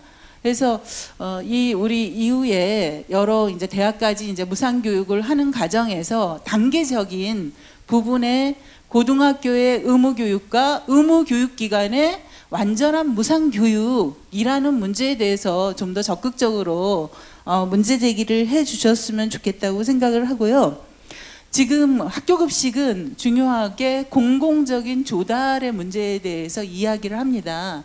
그런데 실제로 패러다임 전환에서 어, 이게 하나의 예가 우리 교육에서 해결할 문제라고 생각하는데요. 학교장이 책임지는 그 교육이라는 것에 대한 새로운 패러다임이 필요하다. 학교장의 개별적인 책임이 아니라 함께 책임지는 교육이라는 저는 그런 패러다임과 담론이 됐을 때 아까 여기 토론자 분도 지적을 하셨잖아요. 학교 내에 공하고 얘기를 하셨는데 실제로 그 부분이 돼야지 공공성과 함께 평등한 교육을 만들어내는 중요한 부분이라고 생각합니다. 어, 사실은 저희가 풀뿌리 국민연대에서 회의할 때 이번 대선 때 우리는 고등학교까지 친환경 무상급식을 국가가 책임지는 것을 좀 의제해야 한다. 그리고 뭐 GMO 없는 안전급식. 그래서 이런 회의에 적극적으로 참여해서 의견을 내자 했는데 약간 오늘은 거대한 담론이 있어서 제가 어떻게 껴야 될지 참 고민이 많았습니다. 근데 아무튼 이러한 목소리도 적극적으로 의제에 반영해 주셨으면 좋겠습니다. 네, 김세균 선생님. 아이고 이거 손을 많이 드시네요. 예. 뭐 바꿔봤다고. 제가 강남 선생님에게 좀 질문하겠습니다. 그 국사, 어, 어, 국공립대 통합대법에 오는 학생은 4분의 1 현재보다도 그, 그리고 사립대 공공형 사립대가 4분의 1, 아, 2분의 1로 줄이자. 그럼 지금 현재 주장하는 반값 등록제 하자는 이야기인데 제가 생각할 때는 지금 국립대 등록금과 사립대 등록금이 학생들 부담이 한 배가 되는데 예? 배가 되죠. 배가 되는데 반값 줄이도 내놔그 차별이 없어지지 않는단 말이죠. 왜, 왜 사립대 학생들한테는 등록금을 더 자꾸 받게 예? 더 받게 하려 하는 건가? 국가가 고등교육도 국가의 기본 책임인데 학생들이 국립대 못 들어가고 사립대 들어간 것만 해도 억울한데 예? 그렇다고 또 사립대가 뭐 좋은, 조- 아주 질 좋은 교육을 시키는 건 아닌데 왜 만든 체제를 유지시키느냐 그죠 그래서 제 생각은 이런 반값 등록제보다도 제 개인적으로 생각은 오히려 국고 보조를 통해서 사립대 학생 전국의 학생들 80%에 따른 학생들에 대한 사립대 학생들의 등록금 부담, 부담을 국립대와 똑같이 해주는 나는 우선이라고 나는 생각을. 내 생각은요. 뭐 그 기초의회에서 뭐 반값을 가든지 나는 그렇게 생각하고 그다음 또 그렇게 자꾸 주장하는 이유 중에 하나는 국- 국공립대 통합 네트워크를 운영하려 하니까 사립대보다 더 좋은 혜택을 부여한다는 생각이 깔려있기 때문에 자꾸 그렇게 차별을 두는데 만약 학생 등록금에 대한 사립대에 대한 학생 등록금 보조를 해주고 또 아까 시간 강사 문제도 이야기했죠 비정규직 문제도 있죠 다 국고 보조가 들어가야 되는데 국고 보조가 많이 들어가면 들어갈수록 그걸 받는 대학은 전부 다 공공형 사립대로 전환시키면 신비는 또 예를 들어서 독일 같으면은 공공임대주택이 있고 민간주택이 있지만 민간주택에 들어가는 사람에도 국고 보조가 있기 때문에 예, 별 차별 없이 좀 공적 통제를 받죠. 어, 없이 움직인단 말이죠. 그러면은 국립대 공공인 사업들은 뭘 그렇게 차별을 자꾸 둘라 둘 필요가 있느냐는 거죠. 어? 어, 둘 필요가 없다. 어, 얼마든지 국립대 사립대도 협력할 수 있다. 오히려 협력 구조가 근역별로 있는 가까운 대학에 있는 끼리 에, 에, 협력하기 쉽지. 전 전국에 있는 국공립대를 다 뭉치가지고 어떻게 어떻게 통합넷대로 해가지고 뭐 학생들을 학생들과 교수들을 뭐 뺑뺑 돌릴 것도 아니고 말이죠. 좀 안정적으로 어떤 근역배로 서로 하는 통합넷 그런 게 옳지 않겠느냐. 어, 따라서 뭐그 문제는 서울대 문제 때문에 자꾸 그렇게 이야기하는 것 같은데 이 서울대가 없어져야 된다. 서울대를 어떻게 해뿌려야 된다는 그는 대중적 그에 대한 나 포퓰리즘적 정책이라고 생각해요. 내 생각은 오히려 어, 근역별 국사립대 통합네트를 만들고 어? 그 공립대를 뭐 기초학문 중심으로 해서 거기에다 집중적인 투자를 해주면서 발전시키면 되는 거죠. 어?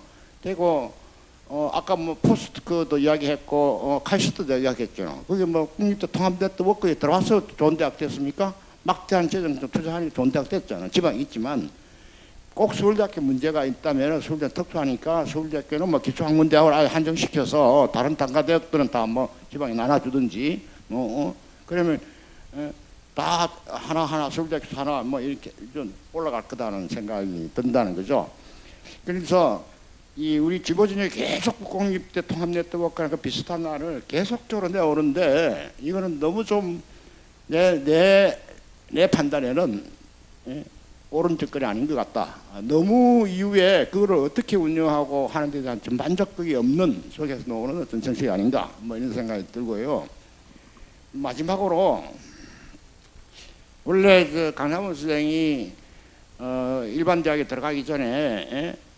어, 아까 이야기했던 뭐, 뭐, 뭐 여러 가지 대학에 제공하는 교양대학, 교양교육을 2년제로 해서 거기 들어오면서 자격 고사로 들어가는 식으로 다 받게 해서 뭐 국립대 들어가는 사람 다 받게 해서 일반대 들어가게 하자고 주장을 했는데 대단히 진취적이고 좋은 말이었는데 왜 자꾸 이렇게 또 1년으로 줄이 뿌리고 또 세 개로 나눠가지고 어? 어? 국립대 나누고 또 나누고 나누고 자꾸 왜 차별을 둘러 하죠? 평등하게 접근하려 하지 않고 어, 그 다음에 예를 들면 독일 같으면은 예를 들면은 어, 김다솜이 우리보다도 7년이잖아요. 그러니까 대학에서 받는 기, 그런 기본 교육을 김다솜이 다 받아버리니까 1년 더 에, 우리 우리 같은 2년제를 하면은 에, 2년제를 할 경우는 아예 뭐 어, 우리 교육하는 가능성 해가지고 어, 국민학교 들어간 학생을 1년 먼저 들어가게 하든지 안 그러면 중등교육을 5년으로 줄- 어, 줄이고 어? 5년 줄여서 1년을 해서 어? 뭐 하면 돼, 되는데 그 왜 좋은 좋은 안을 자꾸 뿌리뿌리고 자꾸 변형시키는지 내가 그게 좀 궁금합니다. 아, 지금 시간이 좀 그래서요. 한 분더그 청중 말씀을 듣고 아이고 많이 들, 손을 드시네요. 아이고 저기 강내희 선생님 한번 더 말씀 듣고 여기 예 예. 어, 지식순환협동조합 대한다교선 강내입니다. 그 발표하신 분들 그, 저 내용을 쭉잘 들었고 어, 중요한 지적들을 하고 계시다고 생각하고요. 어, 필요한 지적을 했다고 생각합니다. 그런데 제가 느끼기에는 그 발표한 내용 대부분이 조금 차이는 있지만 대부분이 어, 교육을 제도적으로라든가 체계적으로 이렇게 접근해 들어갔었단 말이에요. 근데 그런 접근이 어떻게 교육의 그 혁신이라든가 교육 내용이라든가 어, 교육의 그, 그 말하자면 커리큘럼 문제라든가 이런 등- 등과 무슨 관계가 있는지 그 부분이 논의가 완전히 빠져있기 때문에 완전히는 아니지만 거의 빠져있기 때문에 때문에 저는 그렇게 해서 교육이 뭐가 잘 되지 않은 생각이 듭니다. 그런 물론 좋은 좋은 지, 저, 제안이지만은 그래서 제가 볼 때는 그, 그 나중에 그 내용을 그또또저뭐 수정도 하시고 또 보강도 하시지 않겠습니까? 그 과정에서 그런 제안이 교육의 질의 향상과 무슨 관계가 있는지에 대해서도 언급을 해주는 것이 저는 필요하다고 봅니다. 이상입니다. 예. 감사합니다. 어, 오늘 너- 말씀 너무 잘 들었고 과- 방대한 그 대안을 내주셔서 너무 감사한데요. 지금 강내인 선생님 말씀에 이어서 부탁드리고 싶은 거는 그러니까 총론이 필요할 것 같습니다. 그래서 예를 들면 이제 말씀하신 것처럼 이게 이제 이 대안이 이후에 어떻게 될 것인가 이것도 필요하고 또 왜 이런 그 교육이 필요한가 그래서 교육의 목표를 좀 구체화하는 게 필요할 것 같아요.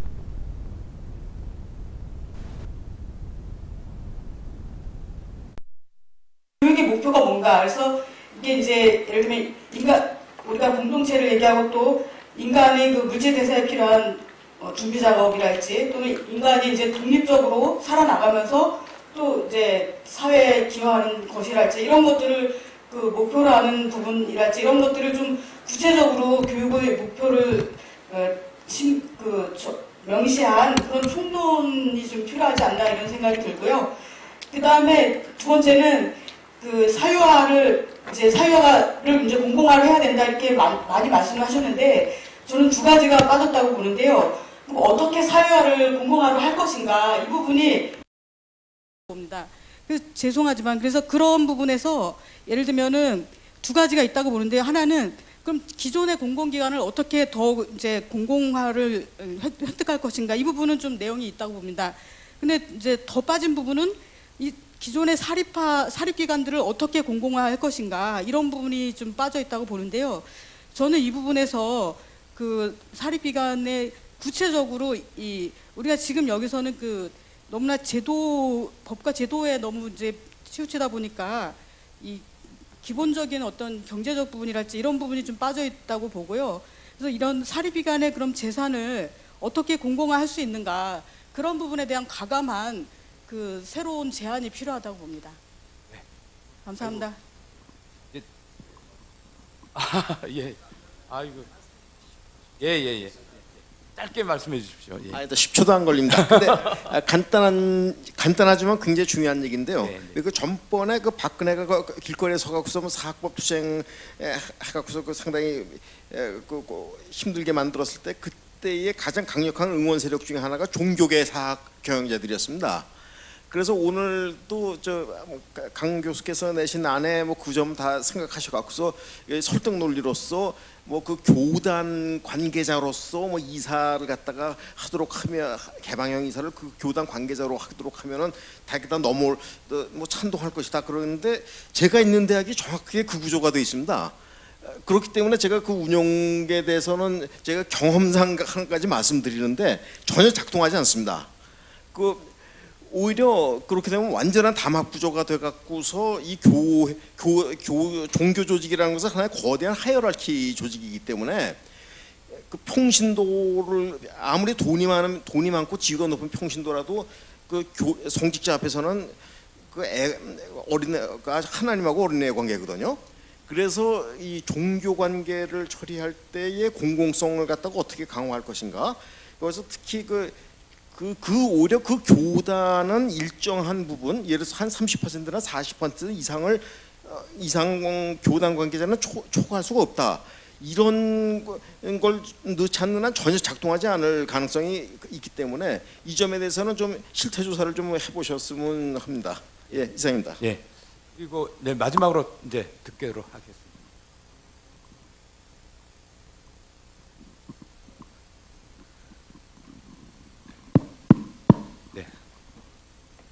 본인 소개도 좀 예, 김명신이라고 합니다. 저기 미국하고 네덜란드 라이든 대학하고 그다음에 체코슬바키아 대학에서 동아시아학과의 그 주변 교수로 일했습니다. 어, 오늘 말씀 정말 어, 잘 들었고요. 감사하게 생각하고 제가 꼭 말씀드리고 싶었습니다. 일단 아까 그 이교 안보 문제와 더불어서 현재 이 교육 문제와도 같이 연관 연동된 문제라고 생각을 합니다. 먼저 이 주제가 2017년 새 민주공화국 제안을 위한 심포지엄이라 했을 때 이것을 이 당장 대선을 앞둔 후보자에게 전달하는 정책 제안인지 아니면 앞으로 좀 더 긴 안목에서 지금 당장 안 된다 할지라도 앞으로를 바라보고 해나가야 되는 장기적인 플랜으로 보시는지 분명해야 될 거라고 생각하고 있고요. 그 다음에 또 한 가지는 아, 그랬을 때 유교 안보 문제와 같은 문제도 어, 어, 어, 김대중 DJ 정부에서와 노무현 정부에서 많은 노력이 있었지만 또 거기에 반대부가 많았고 그 이후에 생겨난 이명박 정부나 박근혜 정부도 결국에선 거기에서 양태된 그런 정권이기 때문에 우리가 지금 만약에 지금 촛불의 민심을 갖다가 긍정의 힘으로 동력 으로 끌고 간다고 했을 때는 우리가 그 반대 세력들을 어떻게 설득해 나가면서 어, 관찰하고자 하는 그 어젠들을 어떻게 이것을 집행해 나갈 것이냐 굉장히 중요한데 오늘 제가 토론을 보면서 느낀 느낌은 굉장히 약간 좀 불안한 느낌들 아직 뭔가 아직 이슈화되지 않고 구체화되지 않은 느낌을 제가 좀 약간 받았습니다. 그래서 좀 더 구체화되지 않을까라는 생각이 들면서 만약에 그 사드 문제 같은 거 그다음에 안보 문제와 같은 것들이 나왔을 때는 그렇다면은 어, 처리해야 되고 그다음에 이것이 어떻게 평화 구축해 나가는 과정을 들 것인가를 한다고 했을 때는 어떻게 어, 상대편을 설득해 나갈 것인가 같이 나와야 되는데 그게 없었다는 점 하나하고 오늘 이 문제는요 제가 말씀드리고 싶은 거는 어, 지금 그 교육의 문제 가장 근본적인 문제를 저는 이제 여러 선생님들께서 많이 진단하셨는데 저는 또 한 번 이렇게 생각해 봤습니다. 제가 이제 여러 그 컨퍼런스를 가면서 어제도 정치학회하고 사회학회에서 이- 이번 촛불에 관련된 그 토론을 했을 때 저도 참석하면서 제가 제안을 한 바가 있었는데 어, 지방 분권이 안 이루어진 지금과 같은 대한민국의 현실에서는 어떠한 어떤 교육의 디테일한 것들을 나온다 할지라도 어, 큰 틀에서는 굉장히 어렵지 않을까 생각해봤습니다. 여기 말씀하신 것들은 교사의 질과 관련된 내용도 있을 것이고 교육의 질과 관련 내용도 있을 것이지만 지금 우리가 토론하고자 하는 것들은 사실상 정부와 관련해서 정책 제안으로 우리가 제기를 했을 때에 새 정부가 이것들을 어떻게 이것을 집행해 나갈 것인가 우리가 그 요구하는 그런 사항에 있는데 그 관점들이 약간씩 다르다는 생각이 들고요. 그큰 틀에서 말해야 될 부분하고 디테일하게 말할 부분들이 이렇게 서로 이렇게 혼선되어 있어서 많은 것들이 나오고는 있지만 구체화되기 어려운 그런 문제점이 있다고 생각합니다. 그래서 가장 첫 번째 것은 지방 분권화가 안 된 상태에서 그게 어떤 여러 가지 것들 뭐 어, 재정의 문제들 나누고 그다음에 어, 어, 학교 간 어떤 아까 연합체 말씀 많이 나오시고 굉장히 다 중요한 것인데 사실상 이런 문제들을 논의할 때는 교육학자나 교수 연구자뿐만이 아니라 다른 어떤 어, 어떤 그런 전문가 엘리트 그룹들과의 어떤 계속적인 소통 어, 그래서 그러니까 산학위원이 진짜로 저- 정말로 진정한 의미에서 같이 연합해서 의견을 제시하지 않다면은 이게 같은 이렇게 어, 이렇게 같은 생각을 갖고 있는 이런 많은 전문가 집단들이 따로 각기 격으로 나갈 그런 경향이 있다는 그런 생각을 하면서 그랬을 때에 이번에 2017년에 새 민주공각 제안을 위한 심포지움으로서는 우리가 어디 할 부분들이 많이 잃을 수 있을 가능성 시간이 없기 때문에 너무 힘들지 않을까라는 생각을 해봅니다. 그래서 지방 분권과 관련된 이런 것들이 어, 예를 들면 헌법 개정을 통해서 이루어질 수 있을 것이고 여러 가지 많은 준비 작업과 더 많은 고민이 필요한 그런 부분이긴 한데 이것들이 안 이루어진 상태에서는 대한민국의 균형적인 발전이 이루어지지 않은 상태에서는 모든 사람이 서울에 오고 싶어하고 애를 안 낳고 싶어하지 않습니까? 그러니까 저출산 문제, 고령화 문제가 다 같이 연동되어 있기 때문에 우리가 지금 여기에서 초등학교, 중학교, 고등 고등교육 어떤 문제점을 말할 때는 어, 좀 이런 것들 같이 말씀해 주셔서 그 생각들을 갖다가 말씀해 주신다면은 실질적으로 이번에 어떤 누군가가 대통령이 되든 물론 이제 진보적인 세력이 되어야 되겠지만은 이것들 갖고 어, 집행해 나가지 않을까 이런 생각을 해봅니다. 그래서 지방 분권과 관련된 이것들이 좀 어, 좀더 많이 이야기가 좀 됐으면 좋겠다는 제 생각을 예. 한번 감히 말씀드립니다. 예, 예. 감사합니다. 예, 예. 그 플로에 있는 내용들이 다 소중한데요. 어, 여기서 다 이제 별적으로 말씀드리기는 좀 그렇고요. 어, 혹시 여기 토론에서 꼭 말씀. 예, 예. 예, 예. 아마 아, 귀중한 그이 시간이 이제 있다고 합니다만 이제 전체적으로 보면 사실은 이 저는 그렇게 생각하거든요. 아까도 얘기했지만 어, 지금 큰 방향을 새로 만들 때는 다 지났고요. 이때까지 합의된 방향에서 입법하고 실천해가면서 또 방향을 만들어 가야 되는 지금 바로 실천을 뭐 3개월 뒤에 법을 시- 통과시켜야 되는 바로 그 긴박한 시점이기 때문에 그 처음부터 새로 틀어서 논의할 수는 없습니다.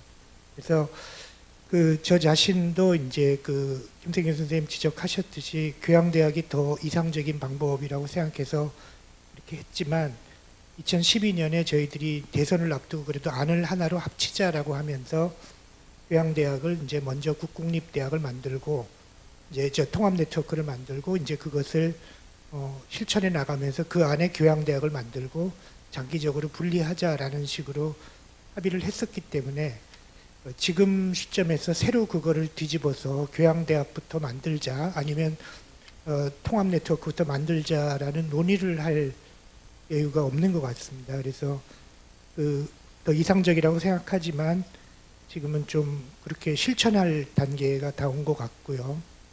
제 생각입니다. 그래서 이종구 선생님 말씀도 일리가 있습니다. 그래서 지금 이종구 선생님 저 성공회대나 저, 저희 한신대나 우리 저 배지대 같이 종단사 교수협의회 대표들이 만나서 공영형 사립대학으로 만들 때 그 지배구조를 어떻게 만들지 이런 논의들을 좀 시작해야 될 단계인 것 같고요.